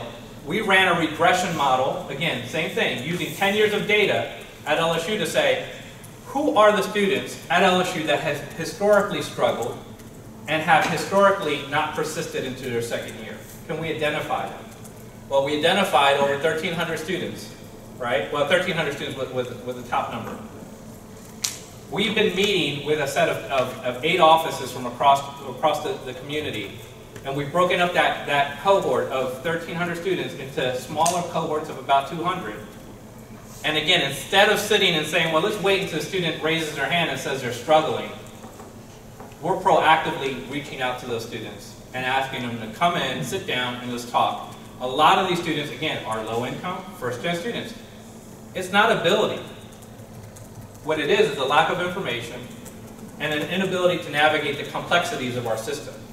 But if we can increase their engagement in key services on this campus, we have a Cadillac model of services. We have supplemental instruction, academic coaching, we have tutoring, we have things that can help students outside the classroom. But we have to get the right students in the right spaces to be served, right? And so, again, I think about Delaware. Delaware had a 93% retention rate. Not really because we recruited a better student than what we recruited this year was this is what we were using. We were using science. We were meeting every single week as a community and saying, we know the thousand students that might struggle, who's reaching out to them, who's keeping track of where they're engaging, and are they engaging in the right things. We would meet every single week until we got to the final about two or three hundred students and saying, okay, here's two or three hundred students. We, they have not met with, with, with somebody on a frontline position, an interventionist success coach is what we call them there. So what do we know about them? Have they gone to a supplemental uh, instruction session? Have they gone to academic coaching? Have they gone to academic advisement? The institutions that are successful in student success are doing it this way. It's using data, being proactive, and it's about relationship with student. This is the era of relational approaches, not transactional approaches. It's not good enough to just say, I sent the email to the students to tell them. It doesn't work. A couple of questions. Apparently, uh, the uh, recruiting did a fantastic job. We had 24,000 applicants. Yes. But did they have anything with holistic uh, uh, admission? To a, to, I mean, one could argue. Because student do- doesn't Yes. know anything about that. Exactly. Okay. The second question I had was, you talked about the higher end uh, data, that how many students that we had that they had uh, higher ACT scores. Yes. How about the lower end? Uh, How many students we had, or what percentage had lower than the 22? Yeah, Can we- you share with us, please? Yeah, we, we could, we can send that back out. The reason we focus on the high end is because that's been the question, right? The question has been that we, We, because of holistic review. As a professor, I'm worrying about lowering. Oh, yeah, sure. We can absolutely share that with you. Yeah. Yep. Yeah, but I don't want to speak off the cuff because I don't have it in front of me, but I'll send, I'll send it up. Yeah, for sure. The reason is, uh, another thing I want to add, I've been here many years and we had open admission and we had, gosh, 40, 50% dropouts. Yes. And then we had all the remedial courses. And the community, they come talk to me. Sure. Louisiana community. They're coming and telling me, you're doing the same thing again. You have a flagship, you're doing so great, everybody wants to come to LSU, you're messing it up. Yes. So apparently, and I said, why? He said, well, you're accepting these students, what the media is saying, Yes. based on recommendation letters, based on essays. Have you ever seen a bad recommendation letter? I said, no, I never seen one. I have. I've seen, I've seen, I've seen 20, 30,000 Point I'm applications like to that. make, if this thing is going to work, we have to do a better job at telling people Yes. that we are not accepting students just based on recommendation letters and essays. Yes. Because that's what is Yeah. relied, I mean, we are telling people. And, and thank you for that. And we make it, too- this was fantastic thing, fantastic uh, uh, presentation. Just, this is too complex for Oh, a sure. layperson in Louisiana, I'm Yes. sorry, to understand. Absolutely. We're all academic. If you're going to do it in a simple, simple way, tell people how you're doing, how you're getting students that they will successful. This is too complicated. Absolutely. You're absolutely right. You're faculty and in the system, and so I thought this was appropriate for this audience. And hopefully it armed you with a lot of good information to be able to go out and debate with some of these myths that are floating around. I hope that you're able to take this and now be able to, to really have a conversation that's much more in-depth than what you're suggesting, because we're hearing it too. Now, we're making our, our way all across the state, speaking to every editorial board, being on news stations, morning shows this morning, I hate being on TV. Thank you, Ashley Arsenal, but we're doing our due diligence, talking to guidance communities. Our national conference is next week um, in Salt Lake. Uh, My entire calendar is filled with guidance counselors that I'll be meeting with every single hour during the, the time out in Salt Lake to again have this conversation. This conversation is appropriate for you, your faculty. You're right. For the public, this is too much, right? And so we're not doing that. But you're right. I, I hope, I hope everyone's walking out of this room and saying, I have a lot more information about how this worked. And it doesn't seem as flimsy as I'm reading in the newspaper. So one of those great myths is that to get away from the open enrollment of the seventies, that mo- many publics were involved with, that we adopted these practices of ACT and, and grade point average in the eighties, or mid, mid to early eighties. We actually didn't mandate the ACT until two thousand and one. So it was optional up until, for two decades. So it was really the grade point average that we set a standard on to get away from the open admissions. But the standardized test issue wasn't even mandated until 2001. So we're not that far. So as we learn more and have more tools, we're just, this is just a progression in understanding students now that we have more information. But the rhetoric is that we adopted the ACT and the GPA in 1984 and to get away from the open admission. We're not going back to open admissions. We're just taking a closer look at these students, and especially the ones who are on the edge, who are bringing different qualities and attributes, or if they're from out of state, and all of a sudden we think the Louisiana core curriculum is somehow superior to everybody else's, Right. which I'm not convinced it is. Right. Yes, question about, Um, It seems like you've been doing great work, thank you so much, and I can say, at least from the colleagues I've spoken to, you're pretty much preaching to the choir here with, uh, um, uh, with this admissions process. My question is actually slightly, uh, on a slight tangent, it has to do with international students. I noticed that they're, uh, in the freshman class, they were under one percent. Yes. And I noticed that if you, even if you add up for all of LSU and grad schools, we're around five percent Yes. international. A lot of our uh, schools we compare ourselves to are Right. 10, 15, 20 percent international. So I was wondering if there were, if there was going to be any efforts or push to try to further internationalize the student body. Yeah, I mean, we're having those conversations, you know, this year, without question, the focus was, I mean, I'll just say, I've made this transition in leadership numerous times now. This was the most anxious community I had walked into. from the freshman class perspective. It it was the biggest loss of, of, we had missed our target last year by 550 students. I, I just, I had never walked into that context. And the whole, even for me, I would go home at night thinking, can we really do this?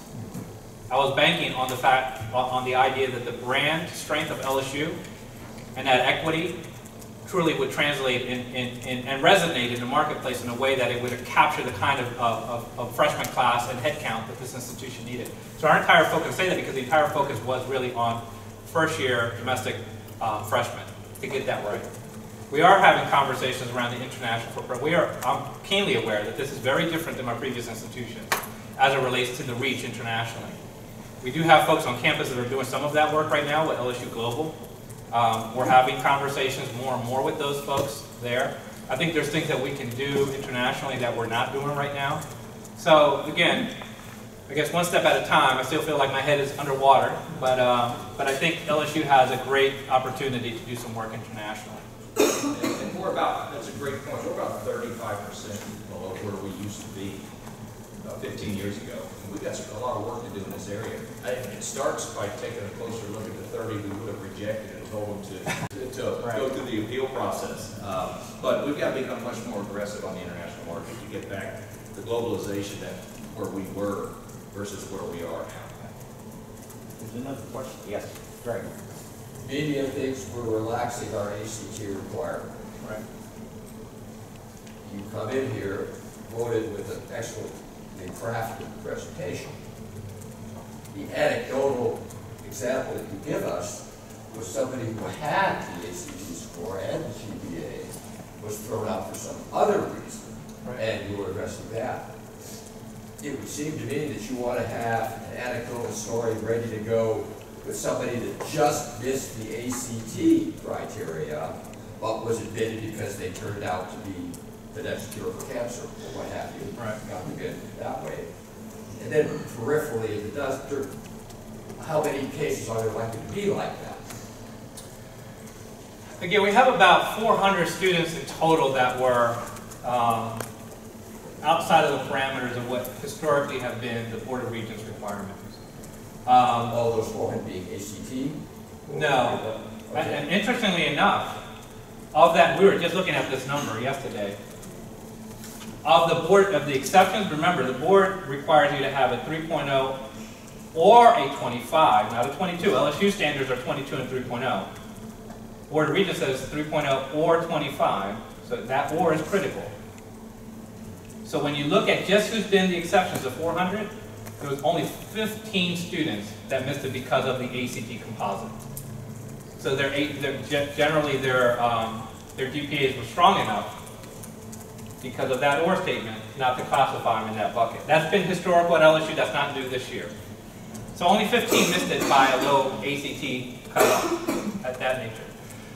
Yes, there's stories of students who are, who are the 20s. You know, I think of one student who was coming from a rural community who was, I think, a 20 at the, um, right under 21 composite. Math score was something like a 26 math, right? Um, student had a three, no, two, uh, 295 was it, Dan? 295. So right on the cusp. I mean, again, these are the students that, that the president was just kind of saying is like, these, no one is, is unconscionable for any admission office, and certainly under my leadership, to assess a student who has a 2.0 and a 15, 16, 17 ACT and say, we're okay with admitting that student. It's just not going to happen. Our responsibility as an admission office is to make sure that the assessment is strong enough where you fully believe that the student is ready to engage, prepared to engage in your environment based on what you understand, and will be likely successful. If you don't believe that, you should not be admitting that student. And again, we're doing it by using the totality of the application. So even with students who, as an example, had the 2.0, right, the math subscore is stronger in that case. The students' science interest aligned with that. Their core, their core uh, classes in science were stronger than anything else. Um, we felt had some of the non-cognitive variables that we looked at. We felt the student probably could do it here. That's two nine five, student, Yes. Thank you. Any last questions? Mayor, Yes. Yes, Nan. um, would you be willing to share with your PowerPoints? Oh, absolutely. Okay. Absolutely. Yeah, just, it's, Uh, Do you have uh, more, do you have more of a simplified one than that?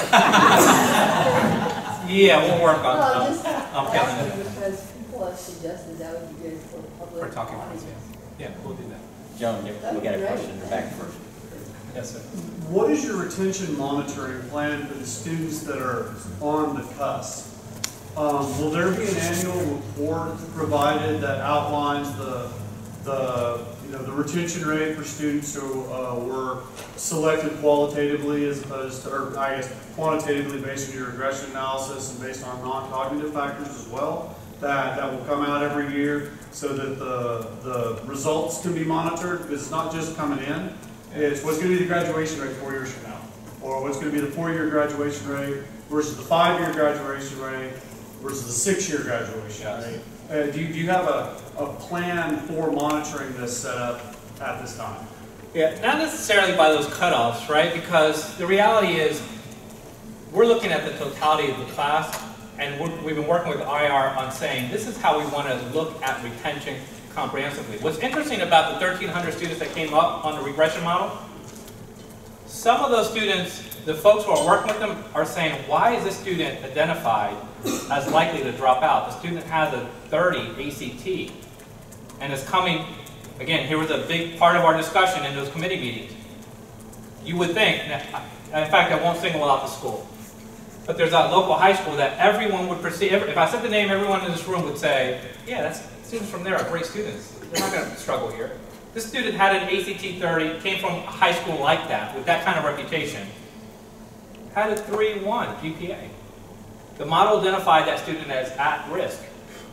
Hard to really fool, I mean, it's a multivariate analysis, right? So there's other things that the model picked up through the factor analysis that said these markers that this student has match up with, with this case, and this student is likely to, to, to struggle here at LSU, likely not to return for their second year. So I, kind of want to get, I don't want to get into this, this idea of here are students that are going to be successful, here are students that we're comprehensively reviewing and, are, are, and really are not going to be successful here, and we should monitor these students differently. We got to look at the whole class, otherwise we're going to be missing students and not understanding, not fully learning from what we're doing in, in the full scope of, of the work that we're doing over the time here. We're going to put out pretty robust reports yearly on what's happening with the success metrics of this class. For me, again, and I said this to a newspaper the other day, this is not, to me, this isn't a grand experiment. This is the way admissions has worked nationally and for every institution I've been a part of. I am highly confident that the students are not only going to match the success metrics of the previous years, but going to exceed those metrics. Because we're doing more in the student success area. These students are going to exceed metrics of the previous cycles. So, in the past, uh, this is something everybody should know. We had about a little more than 190, 200, about half of these, these reviewed exceptions of what the 400 that we have. The graduation rate of those exceptions in the past is about 49%. Our average is 68, 69%. But our exception, 49%, places us as the second best, leaving us out. The second best university in the, in the state. There's only one university with a higher than 49% overall graduation rate, and it's Louisiana Tech with 54. So the exceptions that we made in the past, which also include a lot of those core curriculum kids that we may have gone dug deep and they may have they may have filed an appeal. But it's still better than everybody else's graduation rate in the entire state except one university. So that's important to know that these students in the past aren't graduating at 15, 20%, 25%. We're still graduating, national average is 54%. So these exceptions are almost near the national average in their graduation rate of the ones we took in the past. Yes. And, and what's interesting about that study is the students that were in that exception bucket, their, their success metrics mirrored the bottom quarter of the, the students that were not exceptions, to tell you how arbitrary that line is. Their success metrics were no different than kids who were not labeled exceptions, but were in the bottom, bottom quality metrics of the incoming class that were would have been said, oh, those are regularly admitted students. The metrics look virtually the same. It's just a, an arbitrary kind of line that we've drawn to say, this is where we're cutting it off. Joan Quick. Are we using these same metrics as far as giving out scholarships to students? Yes, this year, the metrics are the same. We've expanded the, the, the amount of, of scholarship available to distribute this year. Again, what we did there was use science, econometric modeling, to determine what, um, what really it would take to produce a student's likelihood to enroll at LSU. And what we found through that analysis um, last year was that our out-of-state students, we were woefully being just completely off in terms of what we were affording or offering students from out of state in terms of awards. So the metrics stayed the same though. We, we, we kept ACT, GPA as the, the key metrics that drive scholarshiping. Um, but we just made sure that we were market appropriate with the scholarship offers. All right, thank you very much, Jose. We really appreciate you.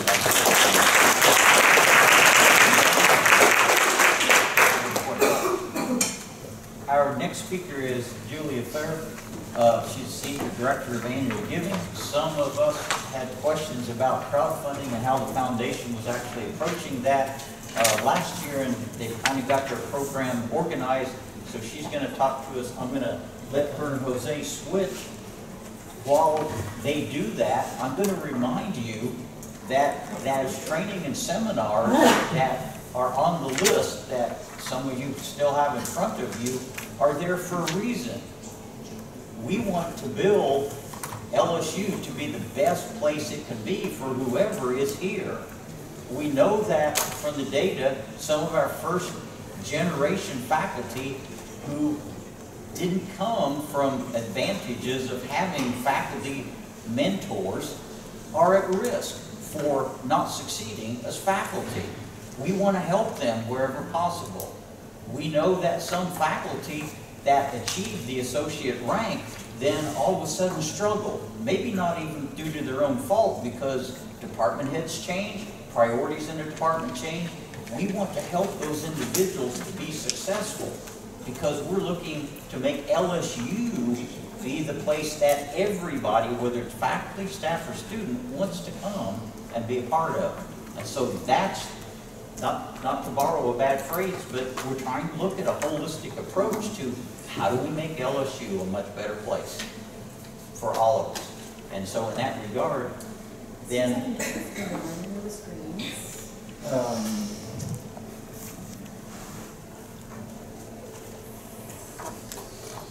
you may have, to come up and help us,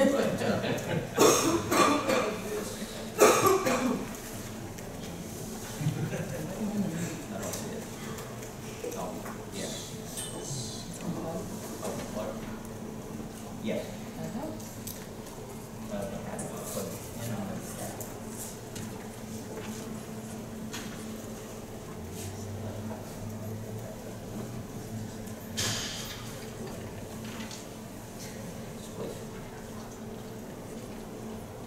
Yeah.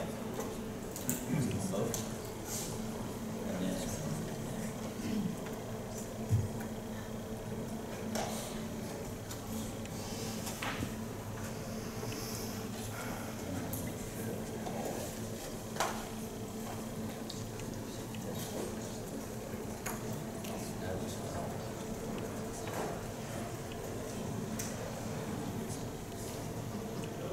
There we go.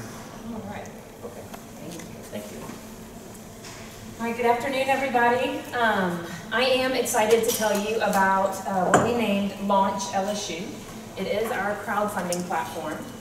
Um, it is the first LSU-hosted crowdfunding platform.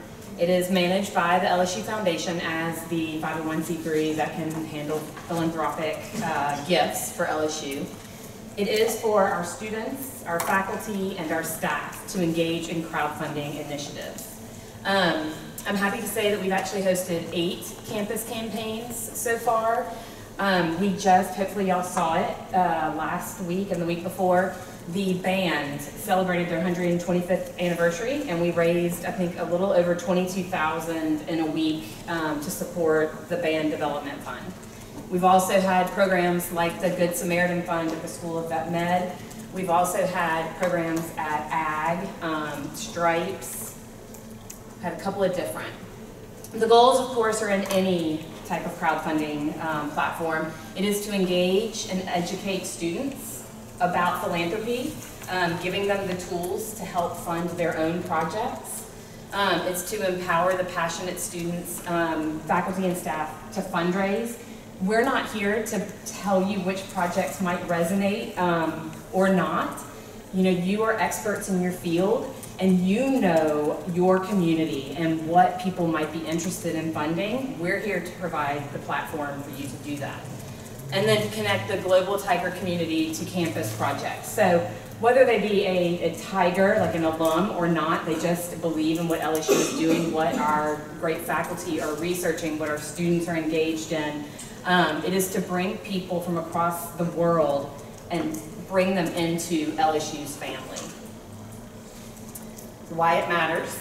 Um, it showcases the projects, the passion, the ideas that we create here on this campus, fosters innovation and philanthropy.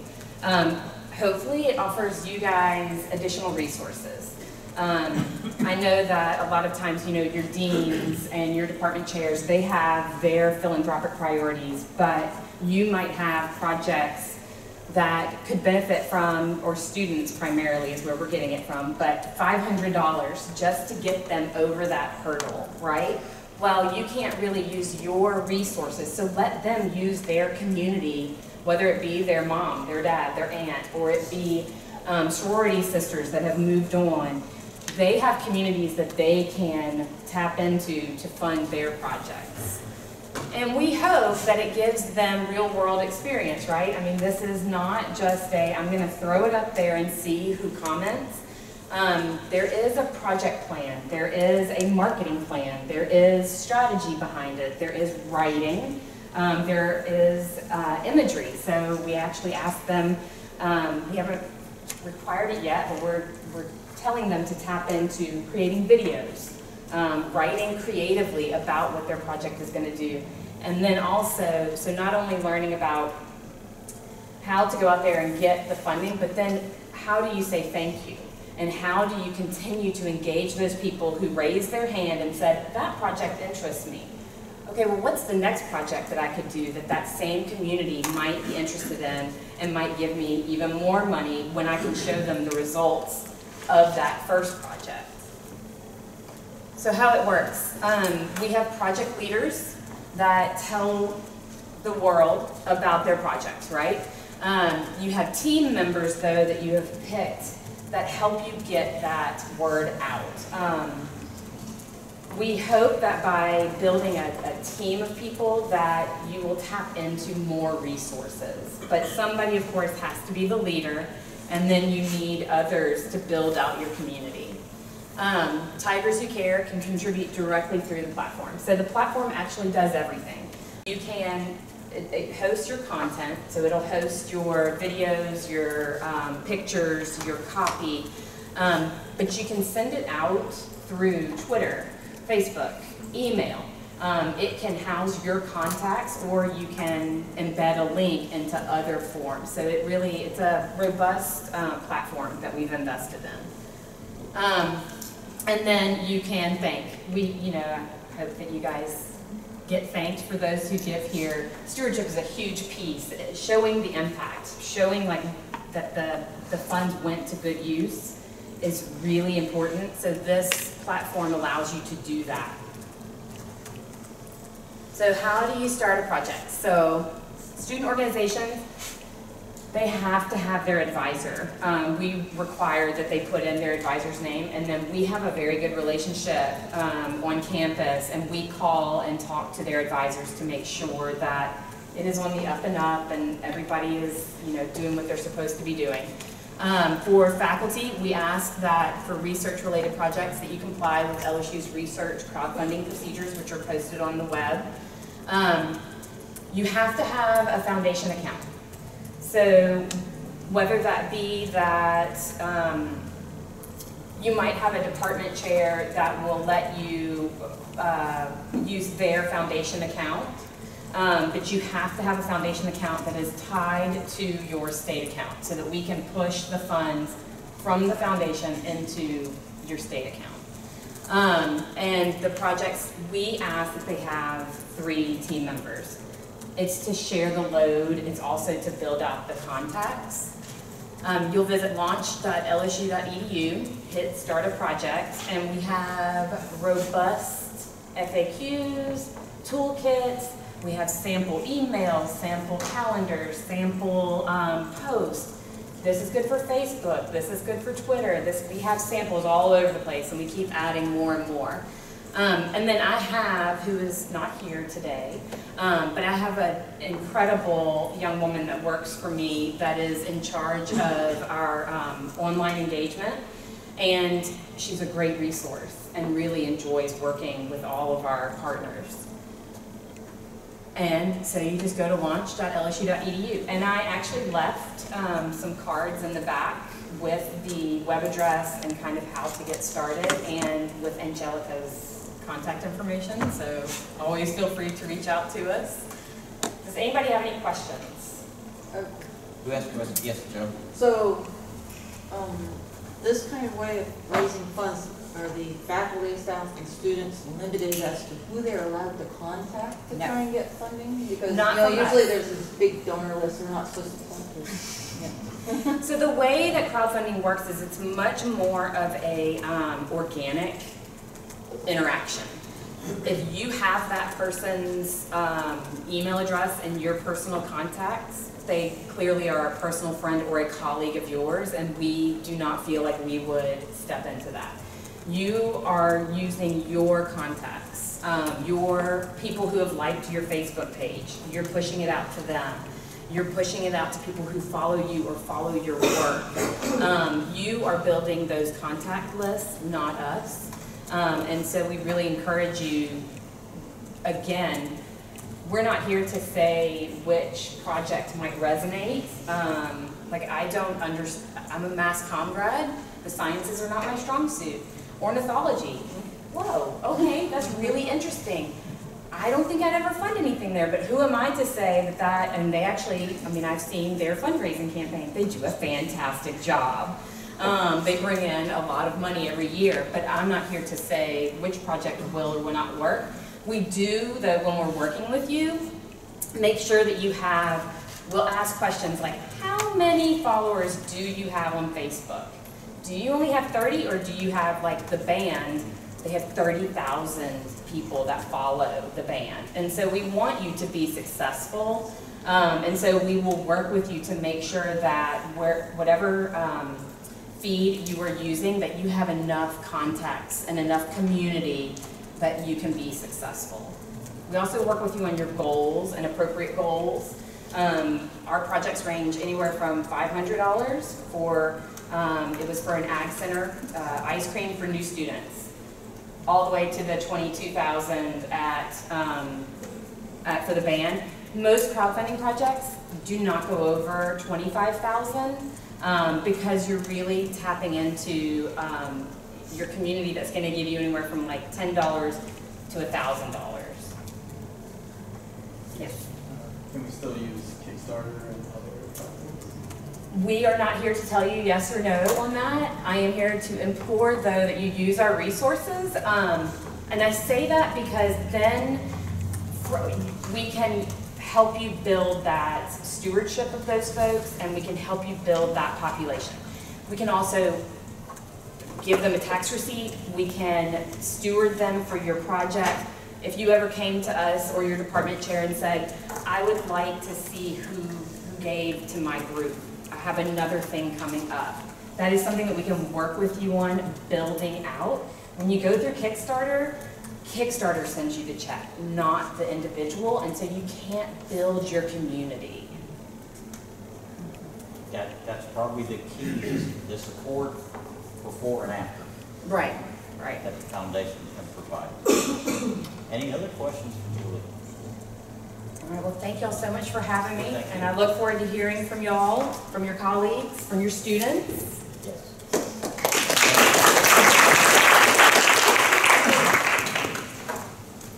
Next speaker, can you come on up, son? Uh, Jain from ITS. Oh, Summer, you're gonna go next? I can, or either way. No. You can Let-. Let's go with some, let's, let's go with Sumit. Um, over the summer, actually it started late last spring, then, and hopefully it wasn't any of you, but it was discovered that some of our, the clickers that were being used in some classes were vulnerable, and all of a sudden, a couple of instructors found out, well, wait, my class is almost empty, but almost every student is participating with the clickers. And so, someone is here to tell us a little bit more about clicker management, some of the vulnerabilities, and some of the best practices. And then at the same time, then there's also been questions about, wait, why is single password when I've been having multiples and those type things? So, all right, so this guy's here, and he's gonna tell us about all those things. Thank Sure. you. Thank you. Uh, As Dr. McMillin said, my name is Sumit Jain. I'm the Chief Information Security Officer for A&M. Uh, We had met over the summer, so I'm going to cover both topics. Um, So from a clicker perspective, what's based on our research and based on uh, Faculty Technology Center's input, we found out people are using both, uh, actually in three different ways. Uh, Mobile application, um, using uh, clickers based on uh, an actual app on iOS or Android device uh, or Windows. Uh, Physical clickers, but that's limited to a classroom itself, and then web-based, uh, where it's basically web-based polling. So as has already been mentioned, there have been some concerns around academic dishonesty because of the way these applications actually function. Uh, there are various providers of these clickers, but from all the providers that we had interaction with, there's limited protection that exists today on their platforms on preventing who gets access to what or how they interact uh, with the uh, with the questions that are being asked or the polls that's being conducted. So, um, and with each of the vendors, there are different information they collect. Some people will collect IP address from which where you're coming, uh, your network location. Uh, some won't even collect that piece. So it becomes very difficult to uh, figure out a way to say, okay, you were physically here, uh, whereas in some cases you may not be able to do so. So from a university perspective, there's only a single solution that is supported through Faculty Technology Center, which is Turning Point. Uh, but we did find out that uh, there are multiple uh, solutions that are currently utilized by faculty members. So one of the challenges that we had is when talking to these vendors is identifying, well, what do you have on your roadmap? Do you see academic dishonesty as, a, as an issue and how do you prevent, how do you plan on fixing that? Some of them are working on doing geolocation. So what that means is it's going to be capturing, if you're using a mobile device, it's going to be capturing your uh, longitude and latitude of your GPS and then providing the faculty member with a map that this is the location that student came from. Okay, That's one of the options that they're working on. But that changes completely differently if they're not using their mobile data. If they're using a wireless network, it's based on IP address. So it changes drastically how you would track that. So even the vendors are struggling with that piece or how to provide genuinely that this person actually came from this location. Some of the suggestions or recommendations on how uh, this can be managed is, is one of few things. If the product that you are using in your classrooms, if it's not a physical clicker, if it's you know mobile application based clicker that you're using, if that vendor provides you with the IP address, if they collect the IP address from where the person came from, you can have it as part of your syllabus that only those students that utilize LSU Wireless will get a grade, right? So we can provide you, we can tell you, hey, here's the wireless IP addresses for LSU. So they would have to be on campus. Now it could be they're not in your class, right? They, they can be in, sitting in the union or sitting in their dorm, but at least they're on campus and they're not sitting in their home, right? So that's one uh, solution. The other is, um, it's more on the process side of things. uh, where you are collecting different data sets and doing correlation, right? So how many people are actually in class? Does it match up with what data set you have being provided through the vendor? So it just depends. We are working with Turning Point to identify what additional options they're gonna have. That is one of, that is the officially supported solution uh, that, that we have our hands on and we work closely with them. And we're gonna be working with them to see what their roadmap is for the next year or two to see how we incorporate or how we feed information back to them on what they need to be focusing on. That's all I had on the clicker. So are there any questions on this? Anybody have any questions on that? Yes? So it's me. Uh, Okay. One of my department in the College of Ag, School of Renewable Natural Resources, I brought this up with Ken. Um, we have a, a large gen ed class that is taught by one of our professors, a hundred and ninety students typically in the fall, about hundred and twenty-five in the spring. It's, uh, ten oh one. Um, it's typically clicker based, historically it has been. The problem came in whenever 97 kids in that class were on a GroupMe and were passing out the passcode whenever it was announced in class on the screen for the clicker related activity. It then immediately broadcast out to all 97. They logged in with, the, it was the phones, it's not web-based, it's phones. It's It's, it's phones. I Right. mean, you know, they immediately logged in with their web-based equipment and did the quiz. The, the faculty member, who will remain nameless for, um, now, uh, then had several students, graduate students come and sit in the class and count the number of students and count number of clicker multiple times. You guys may have read about it in the paper. If you haven't, you probably will this week. Um, you're sitting here telling me that the solution is that, well, you can tell us if we're on campus or we need to go back to paper. That is not an IT solution for this issue. Should we abandon Turning Point and stop using clickers in our large classes? So there are two things. One is the capability of the solutions that are out there. If the solution doesn't, Turning Point or other solutions for clickers that are out there, if they do not collect relevant information, there is no way for us to detect anything if the product itself doesn't provide the information. So you can get an IP address. I believe Turning Point, and there's one more vendor, I'll have to go back and check my notes, they do collect IP address that you're coming from when you connect. Do your Wi-Fi routers have IP addresses in the large classrooms? Yes. Everybody gets an individual IP address, so any student that comes from 167.96 starting IP address is on LSU Wireless. Okay, so we could, could we ping them beforehand? Or that we, we- you know, whenever, whenever the students are sitting in a room like this, so if I were to log on, you know, or do whatever here, you're gonna know it was me, right? I will know it's you. So is the question just getting that data into Turning Point? Or No, into the so output Turning- file? or so- clicker? Um, the, you will get an IP address that's 167.96, and we would know, we have a way of knowing uh, through different logging mechanisms that who is assigned that particular IP address. But that is not necessarily true because somebody standing outside may also be connected. They will get a different IP address. So there are different data points that come into picture.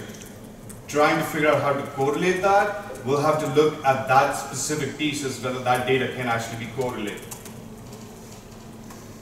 Because from a student perspective, I can still be on campus. I, I can still be on campus and still have an IP address. There is no way for me to know that they were sitting in the class. That, that's what I was trying to get at. Okay, so you can't tap it down to the To the actual physical address. Right.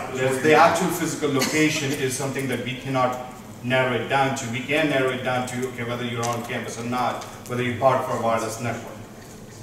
But none of the technologies can do that. So, so that's a vulnerability that our intelligent students figured out and have utilized. I think there is a technology that can do that.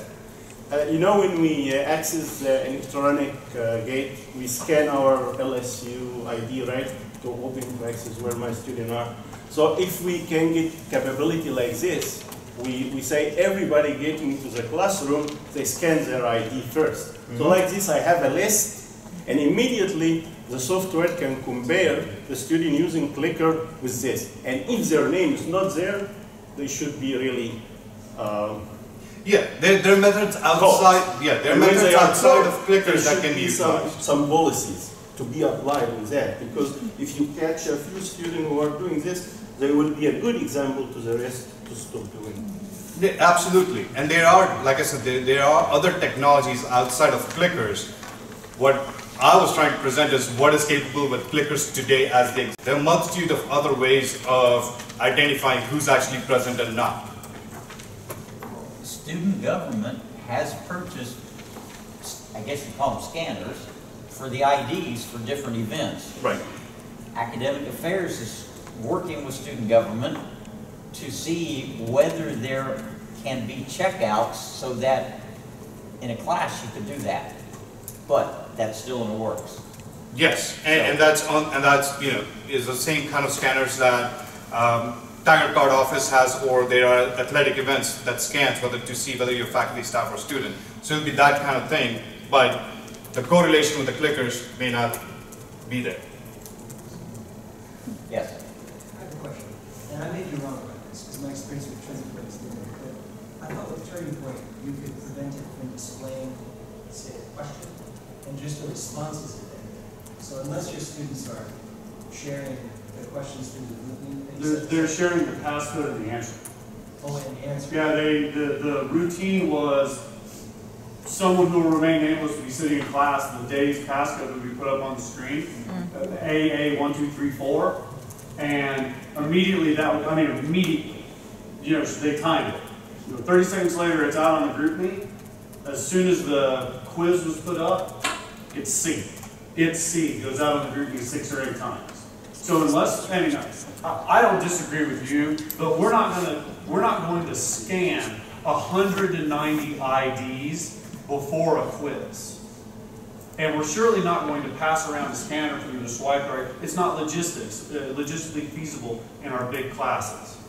So, thi- and this is a problem for us because this, this went on for nine or 10 weeks before it got caught. And we had almost 90 students that lost, you know, a third of their grade for the semester, or half of the quiz grade information for the semester. And academic affairs had to do something like 130 interviews. It was insane. So the larger question becomes is should these be in the classroom at all if there's no way to restrict use of them to ensure academic honesty as opposed to a piece of paper with a signature and an 8-9 number on it? So, from a mobile application perspective and a clicker perspective, both, I believe Turning Point came out, Turning Point came out with a new clicker. So they have two clickers. One is basically you connect to your laptop, and then you physically have to be in a geographical region, more likely just a class, to be able to utilize that clicker, and it's just ABC, right? But they also, we were also informed that there is a requirement where people need to, not, it's not multiple choice only, there are, you know, text-based answering things. So Turning Point actually has a new clicker that comes with a text pad as well. And that too is not web-based, it's not a mobile application, it's a physical, you have to be in a near vicinity in the classroom to be able to utilize either of those clickers. So there is that piece as well. Now if you want to go down on the path of mobile technologies, there are limitations there simply because of what those applications are and they're new on the market. I- I'm just carrying the flag, man. I jump on animals. all around, so. Any other last questions? Now we're gonna switch to the password. Yep. Okay, uh, so, uh, on this specific one, what's actually happening? We are talking about uh, making changes to uh, credentials and the way people authenticate to our environment, right? A credential is a combination of a username and password that we use uh, to access uh, systems such as your laptops or applications uh, such as MyLSU, uh, Workday, the library resources, or network such as Eduroam. Today, each one of us, if you have a MyLSU ID, the, the, the not Tiger Card ID, the you, your username, you today see two of them, Okay, one is the username and password you use to log into my LSU, and one that you use to log into your email, right? On the back end for us, there are three IDs, okay, that we are managing. And this becomes a very complicated system to manage when we are now, in today's day and age, when we are propagating out to the cloud. So we have Workday, we're talking about a student information system. We have library resources that are third party. Moodle is another system. Right now we are managing close to about 100 or so applications, 60 of them through single sign-on, uh, which is one way of doing authentication, and then another set that's based on a legacy applications. So on the back end, it becomes very, very complex to manage both the username and the password. And one thing you would have noticed since, well, uh, about last four or five years, you have never had to change your LSU mail password until unless my team suspended your account because it got compromised some way or some shape or form, right? Your LSU mail password has never changed from the day it was established and you first changed your password. But your My LSU password has to be changed either every 90 days or 180 days, depending on how long your password is. So that's what we are talking about. So this is what it actually looks like. You have one set of credentials that you use to log into MyLSU, Eduroam, VPN, computer logon, uh, applications such as Workday, and then you have one set that is completely separate. And what we are moving towards is bringing it all together and merging it to just one account for you as a user. We are still managing three accounts on the back end. Okay? The main reason for doing these things is to move toward modern age. You would have heard uh, multiple times by now when Tom talks about you know modernization, the student information system. Legacy mainframe that we have is where our identity and access management actually sits today, right? We have to move off of that into a modern age and support new applications and new platforms. But to be able to manage your identity and say, okay, this is who you are, we cannot manage three accounts and three different set of passwords, right? For you, going forward, you will still see one, but we still have to manage three in the background, but that moving, you, moving users to one set of credentials helps us consolidate things on the back end as well over time when we move to a new IAM. There are also dependencies on mainframe because mainframe goes away. We have to reduce our complexity and we have to make sure that any and all systems and applications we implement, you guys only see one interface, right? Uh, today, uh, when you log into LSU email, you would have seen the LSU email login page looks a little bit different when you go through the web browser, right? But my LSU login page looks completely different. And if you have certain other applications that do their own authentication, where you may still put your MyLSU username and password, that login screen looks completely different. This complexity is one of those complexities that we are trying to mitigate, where the login screen for anything and everything becomes one, right? There are other things that we're going to bring up. Um, this was a pain for us when we moved to Workday. Everybody could go in and change their payroll selection and the bank they want to deposit stuff on. But come December 2016, we went back to paper. And there was a reason for that. Because accounts were compromised and payroll fraud occurred, not from our side, but paychecks went where they shouldn't have gone, right? So we went back to paper. And the main reason for that is because we didn't have enhanced security in place. So with this transition, we are talking about enhancing security by bringing multi-factor authentication for certain things, not for everything. So if you want to go and change your payroll, guess what? You will have to provide either a six-digit code or you will have an app on your mobile device or you can get a phone call on your desk phone or an email on an you know, a six-digit code on an alternate email. There are multiple ways of bringing multi-factor authentication into place. So we're going to be bringing that along next year. Talking about conditional access. So if you are a professor that's teaching a course on campus, you're logged into a system, but at the same time your account is also trying to log in from China or from Russia, we can stop that by bringing this change into play. Today we cannot, right? talking about secure messaging, you want to share confidential data with somebody else, there are very limited options available to you today. And email, as a standard, is not a secure way of sharing confidential information. But by implementing secure messaging, you will be able to send encrypted messages to anybody. Okay, that should be actually should be something that should come online uh, early spring. The last two, which is advanced threat protection and URL management, that's thing that I personally want to implement because I have a very very small team and we deal with phishing messages on a daily basis and it is becoming a painful experience to shut down each and every mobile uh, URL that we get that's related to phishing. Okay? Right now we have about 7,000 URLs that we have blocked in the last year alone. Okay? But by implementing those two technologies, which is advanced threat protection and URL management, what we can do is whether you receive your email at, your at lsu.edu mailbox or students that forward their email to their Gmail, regardless of wherever you are in the world, by click of that configuration and by managing URLs that way, regardless wherever you are, whatever device you're using, whether you're on campus or not, we can prevent you from going to the phishing page. Okay? It also allows us to stop uh, malicious attachments. Um, I don't know how many people receive invoices on a daily basis, but we receive invoices on a daily basis, but only half of them are actually true invoices, the other are malware. Right? So those things help us bring, uh, bring protection to our email environment. Okay, so dates of rollout. We are the guinea pigs for anything that new happens, so ITS has already gone through this. Uh, this transition of merging all the accounts and making sure everything is working and the new services that are going to come with it. I let me see.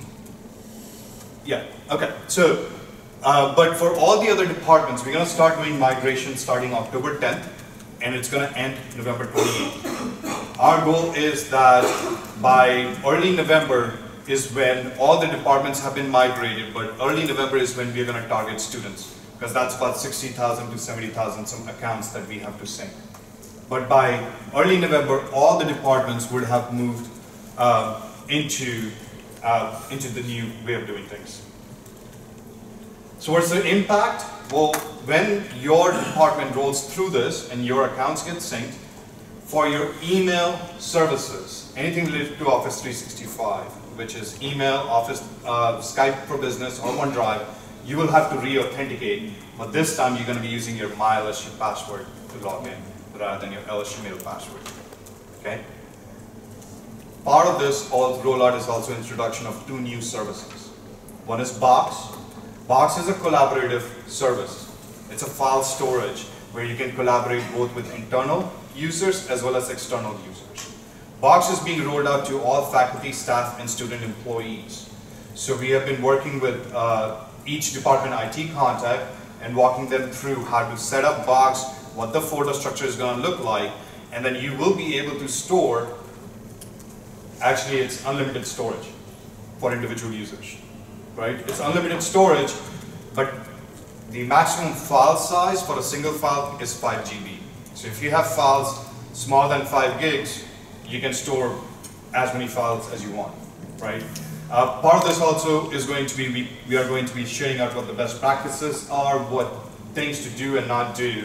And with Box, there's only, uh, there's one caveat of what you cannot store in Box, okay? Uh, social security numbers, credit cards, and health-related data. Anything that can be classified as HIPAA data, those are three things you cannot store in Box. Student data, um, you want to store your research, uh, papers or anything like that, go ahead and store. You're working on a book and you want to collaborate with another professor at another university, Box is a perfect example for this. Okay? The other piece, the other new service is Microsoft Teams. Um, so Microsoft Teams is a platform, um, let me ask this, how many of you know what Slack is? Microsoft Teams is um, Slack. basically. It is persistent chat, so you can continually chat with whoever is part of your team, and it's stored there uh, forever. You can also have a team-based OneDrive, so all your team documents can be stored there, and you also get a team-based email. So what this allows you to do is you can have internal collaboration. Now Teams is only for internal users, okay? This is for faculty, staff, and students. So one of the things that can be done here, and one of the use cases that we have discussed in, in different forums, is if you have a class, you have LMS, which is Moodle, and you can do chats and discussions in that. But this is another avenue for you to have an open interaction with your class uh, if you want to. So you can have all students within a class, within a particular section as part of a team. Okay? So that's what's going to be happening, and this is just a general reminder uh, to be, you know, be mindful of the passwords that you utilize. Uh, one of the things that was, uh, from our perspective, was a pain point of this segregation. There was a maximum password limit that uh, was there with LSU mail accounts. Your password could only be 10 to 16 characters, uh, but with this sync, that 16 character limit goes away. So you can have passwords longer than 16 characters. I don't know how many people have passwords longer than 16 characters, but I do. Uh, right, my the password that I've been dying to use since I came here, but I haven't been able to simply because of these limitations, is about 50 characters long. Uh, it's just a long phrase. Um, but we also want uh, you to make sure that you set your password reset questions. Okay? How many of you know what password reset questions you have as of today? Okay. Please go into MyLSU, search for password reset questions. If you don't know your answers, make sure you set them because those things are going to become critical as we go through this process because we are going to eventually get to a point where you will be responsible for resetting your own passwords if you forgot it because we're going to do text-based, call-based, you have, it's a self-service thing, right? So make sure you set your PRQs uh, and, and uh, remember those. We are forcing you to answer your PRQs, your password reset questions, every time you're going to reset your password, right? So that's kind of a practice for everybody. Um, we are working with departmental IT contacts. We are uh, we have, uh, we have done uh, presentations to staff senate. Um, associates and assistant deans was this morning. Um, we also made presentations to business managers meeting, uh, and we have had actually multiple meeting with uh, uh, the IT contacts for departments to make sure that they understand, because they are the ones that are going to be managing what that folder structure looks like.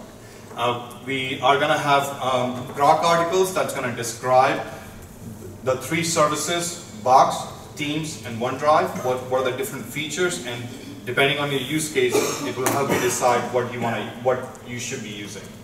Um, and then Service Desk is there to answer any questions uh, you guys have when we get to that rollout stage.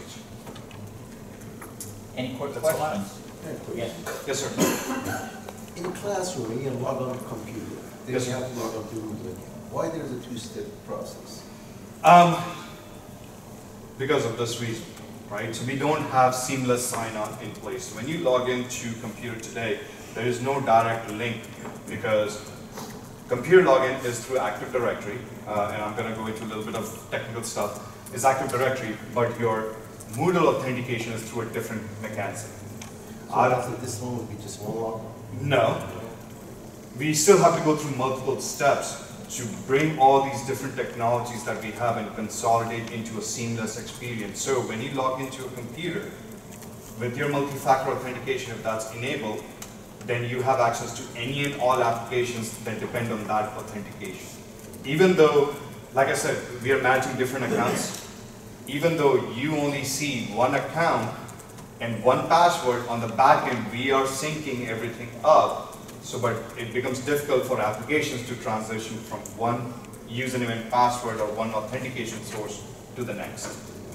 So our eventual goal is that, that when you log into the system with your MyLSU username and password, you have access to anything and everything that you're gonna have.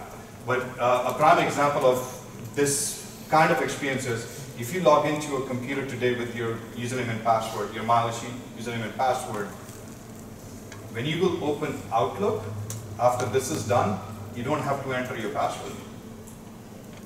Your Outlook will pick up the username and password that you have logged in with, your MyLSU username and password that you have logged in with, and sync automatically.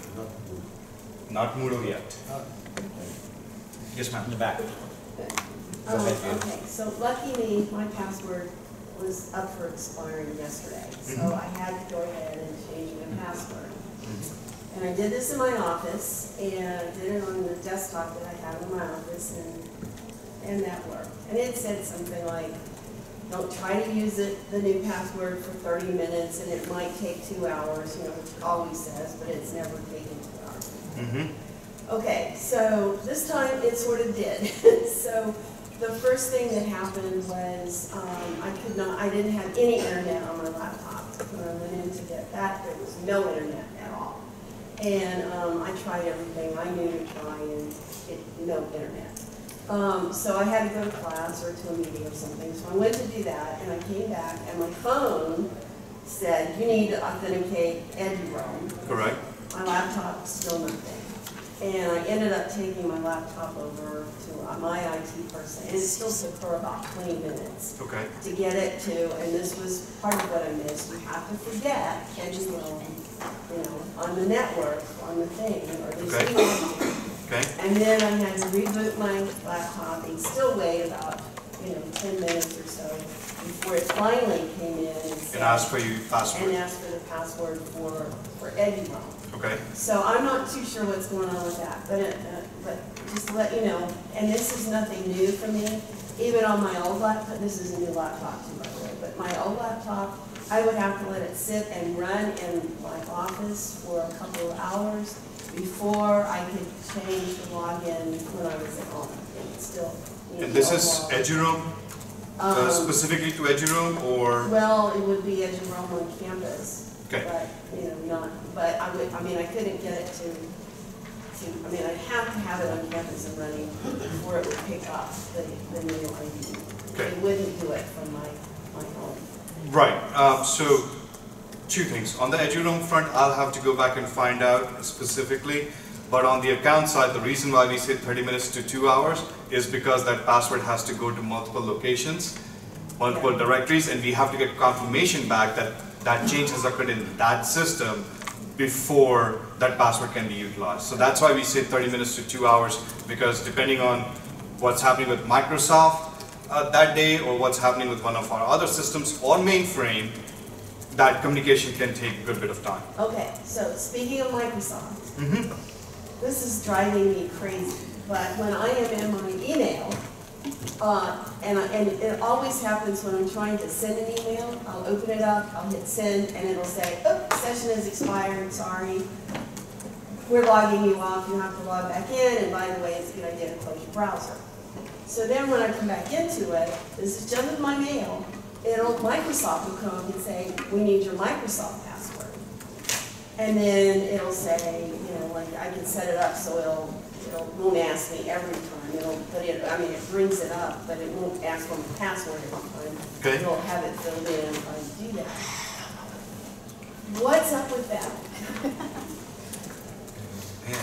You guys asking questions that I haven't, I haven't been asked before. Uh, so let me do this. I will, I will, I will take your information and I actually want to either myself or somebody from our email team will contact you. And we want to see what the difference looks like because usually when these kind of issues come up, it's, everybody faces it, right? So it, it could be multiple variables, but we want to see and actually walk through what that actually looks like so that we can identify what the root cause is. Okay. In the back, yes. I was, uh, you made a comment about the Microsoft Teams. I thought you said it was only internal. I actually use Microsoft Teams quite a lot with the Accenture, and I have it set up because I work with people around the country, and it does. It actually works with the external partners. We can communicate, we can change, um, edit files together. I think it's just the administrative part that it doesn't allow. So let me ask you this question. The other entities that you collaborate with, Yeah. are they higher education?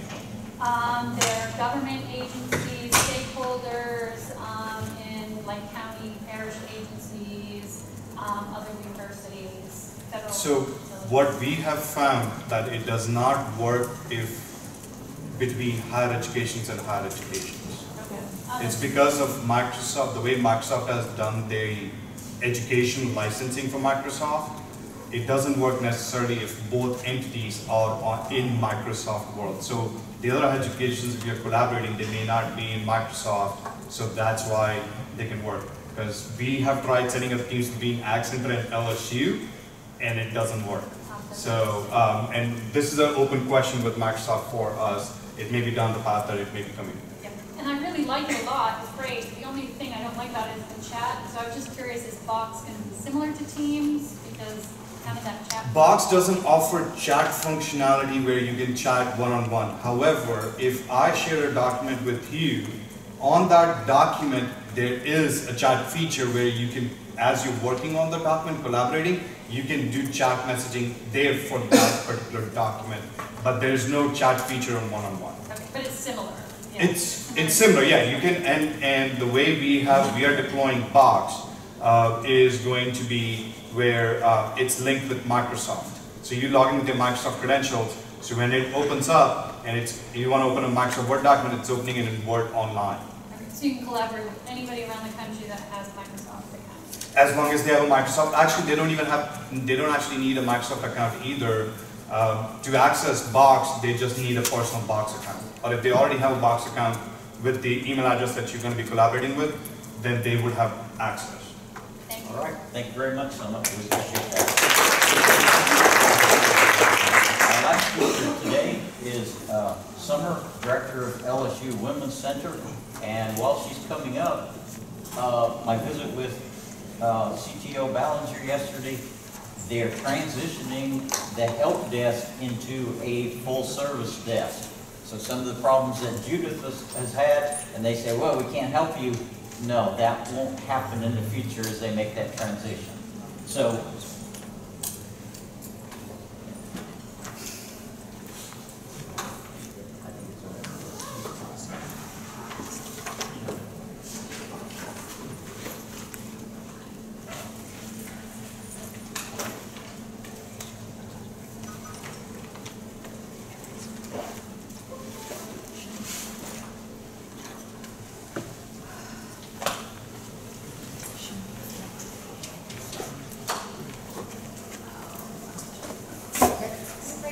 Thank you, Summer. Thank y'all. Again, my name is Summer Steib. I'm the director of the Women's Center. Um, it's one of the many hats I get to wear on campus, and one of those hats that I wear in addition to being the director of the Women's Center is I'm one of three permanent members on the University Council on Gender Equity. So I'm going to spend a little bit of time talking with y'all this afternoon about that. Um, I know we have a few folks in the room who have served on the UCGE in the past. Um, so the mission of the University Council on Gender Equity is to address gender inequities at LSU by leveraging the knowledge, expertise, and resources of council members to develop and revise policies, procedures, and protocols on campus. That's our website. We are situated under the Office of Diversity at LSU. Little bit of the history. In 1999, the Commission on the Status of Women forms. It meets on and off for the next several years, sort of as issues on campus arise to make policy recommendations, do research, etc. Um, between about 2006 and 2008, the CSW becomes a University Council on Women, and it's established as a standing body. And then in 2013, UCW changes its name to the University Council on Gender Equity, and then we establish the current mission that I just shared with all of you. Some of the major past initiatives that the council and commission have worked on include uh, the sexual assault policy, so drafting that original PM 73 that we have on campus, uh, maternity and paternity leave, that's not something that's always existed here at the university, partner benefits, child independent care research and white paper. That was one of the things that was really instrumental whenever a couple of years ago the Child Care Center was going to move from auxiliary services to being run by a private entity. But there were folks on campus who met, faculty senate, staff senate, again, a lot of guidance from that white paper that was written by UCGE members, and the determination was, was made to move it to the College of Human Sciences and Education.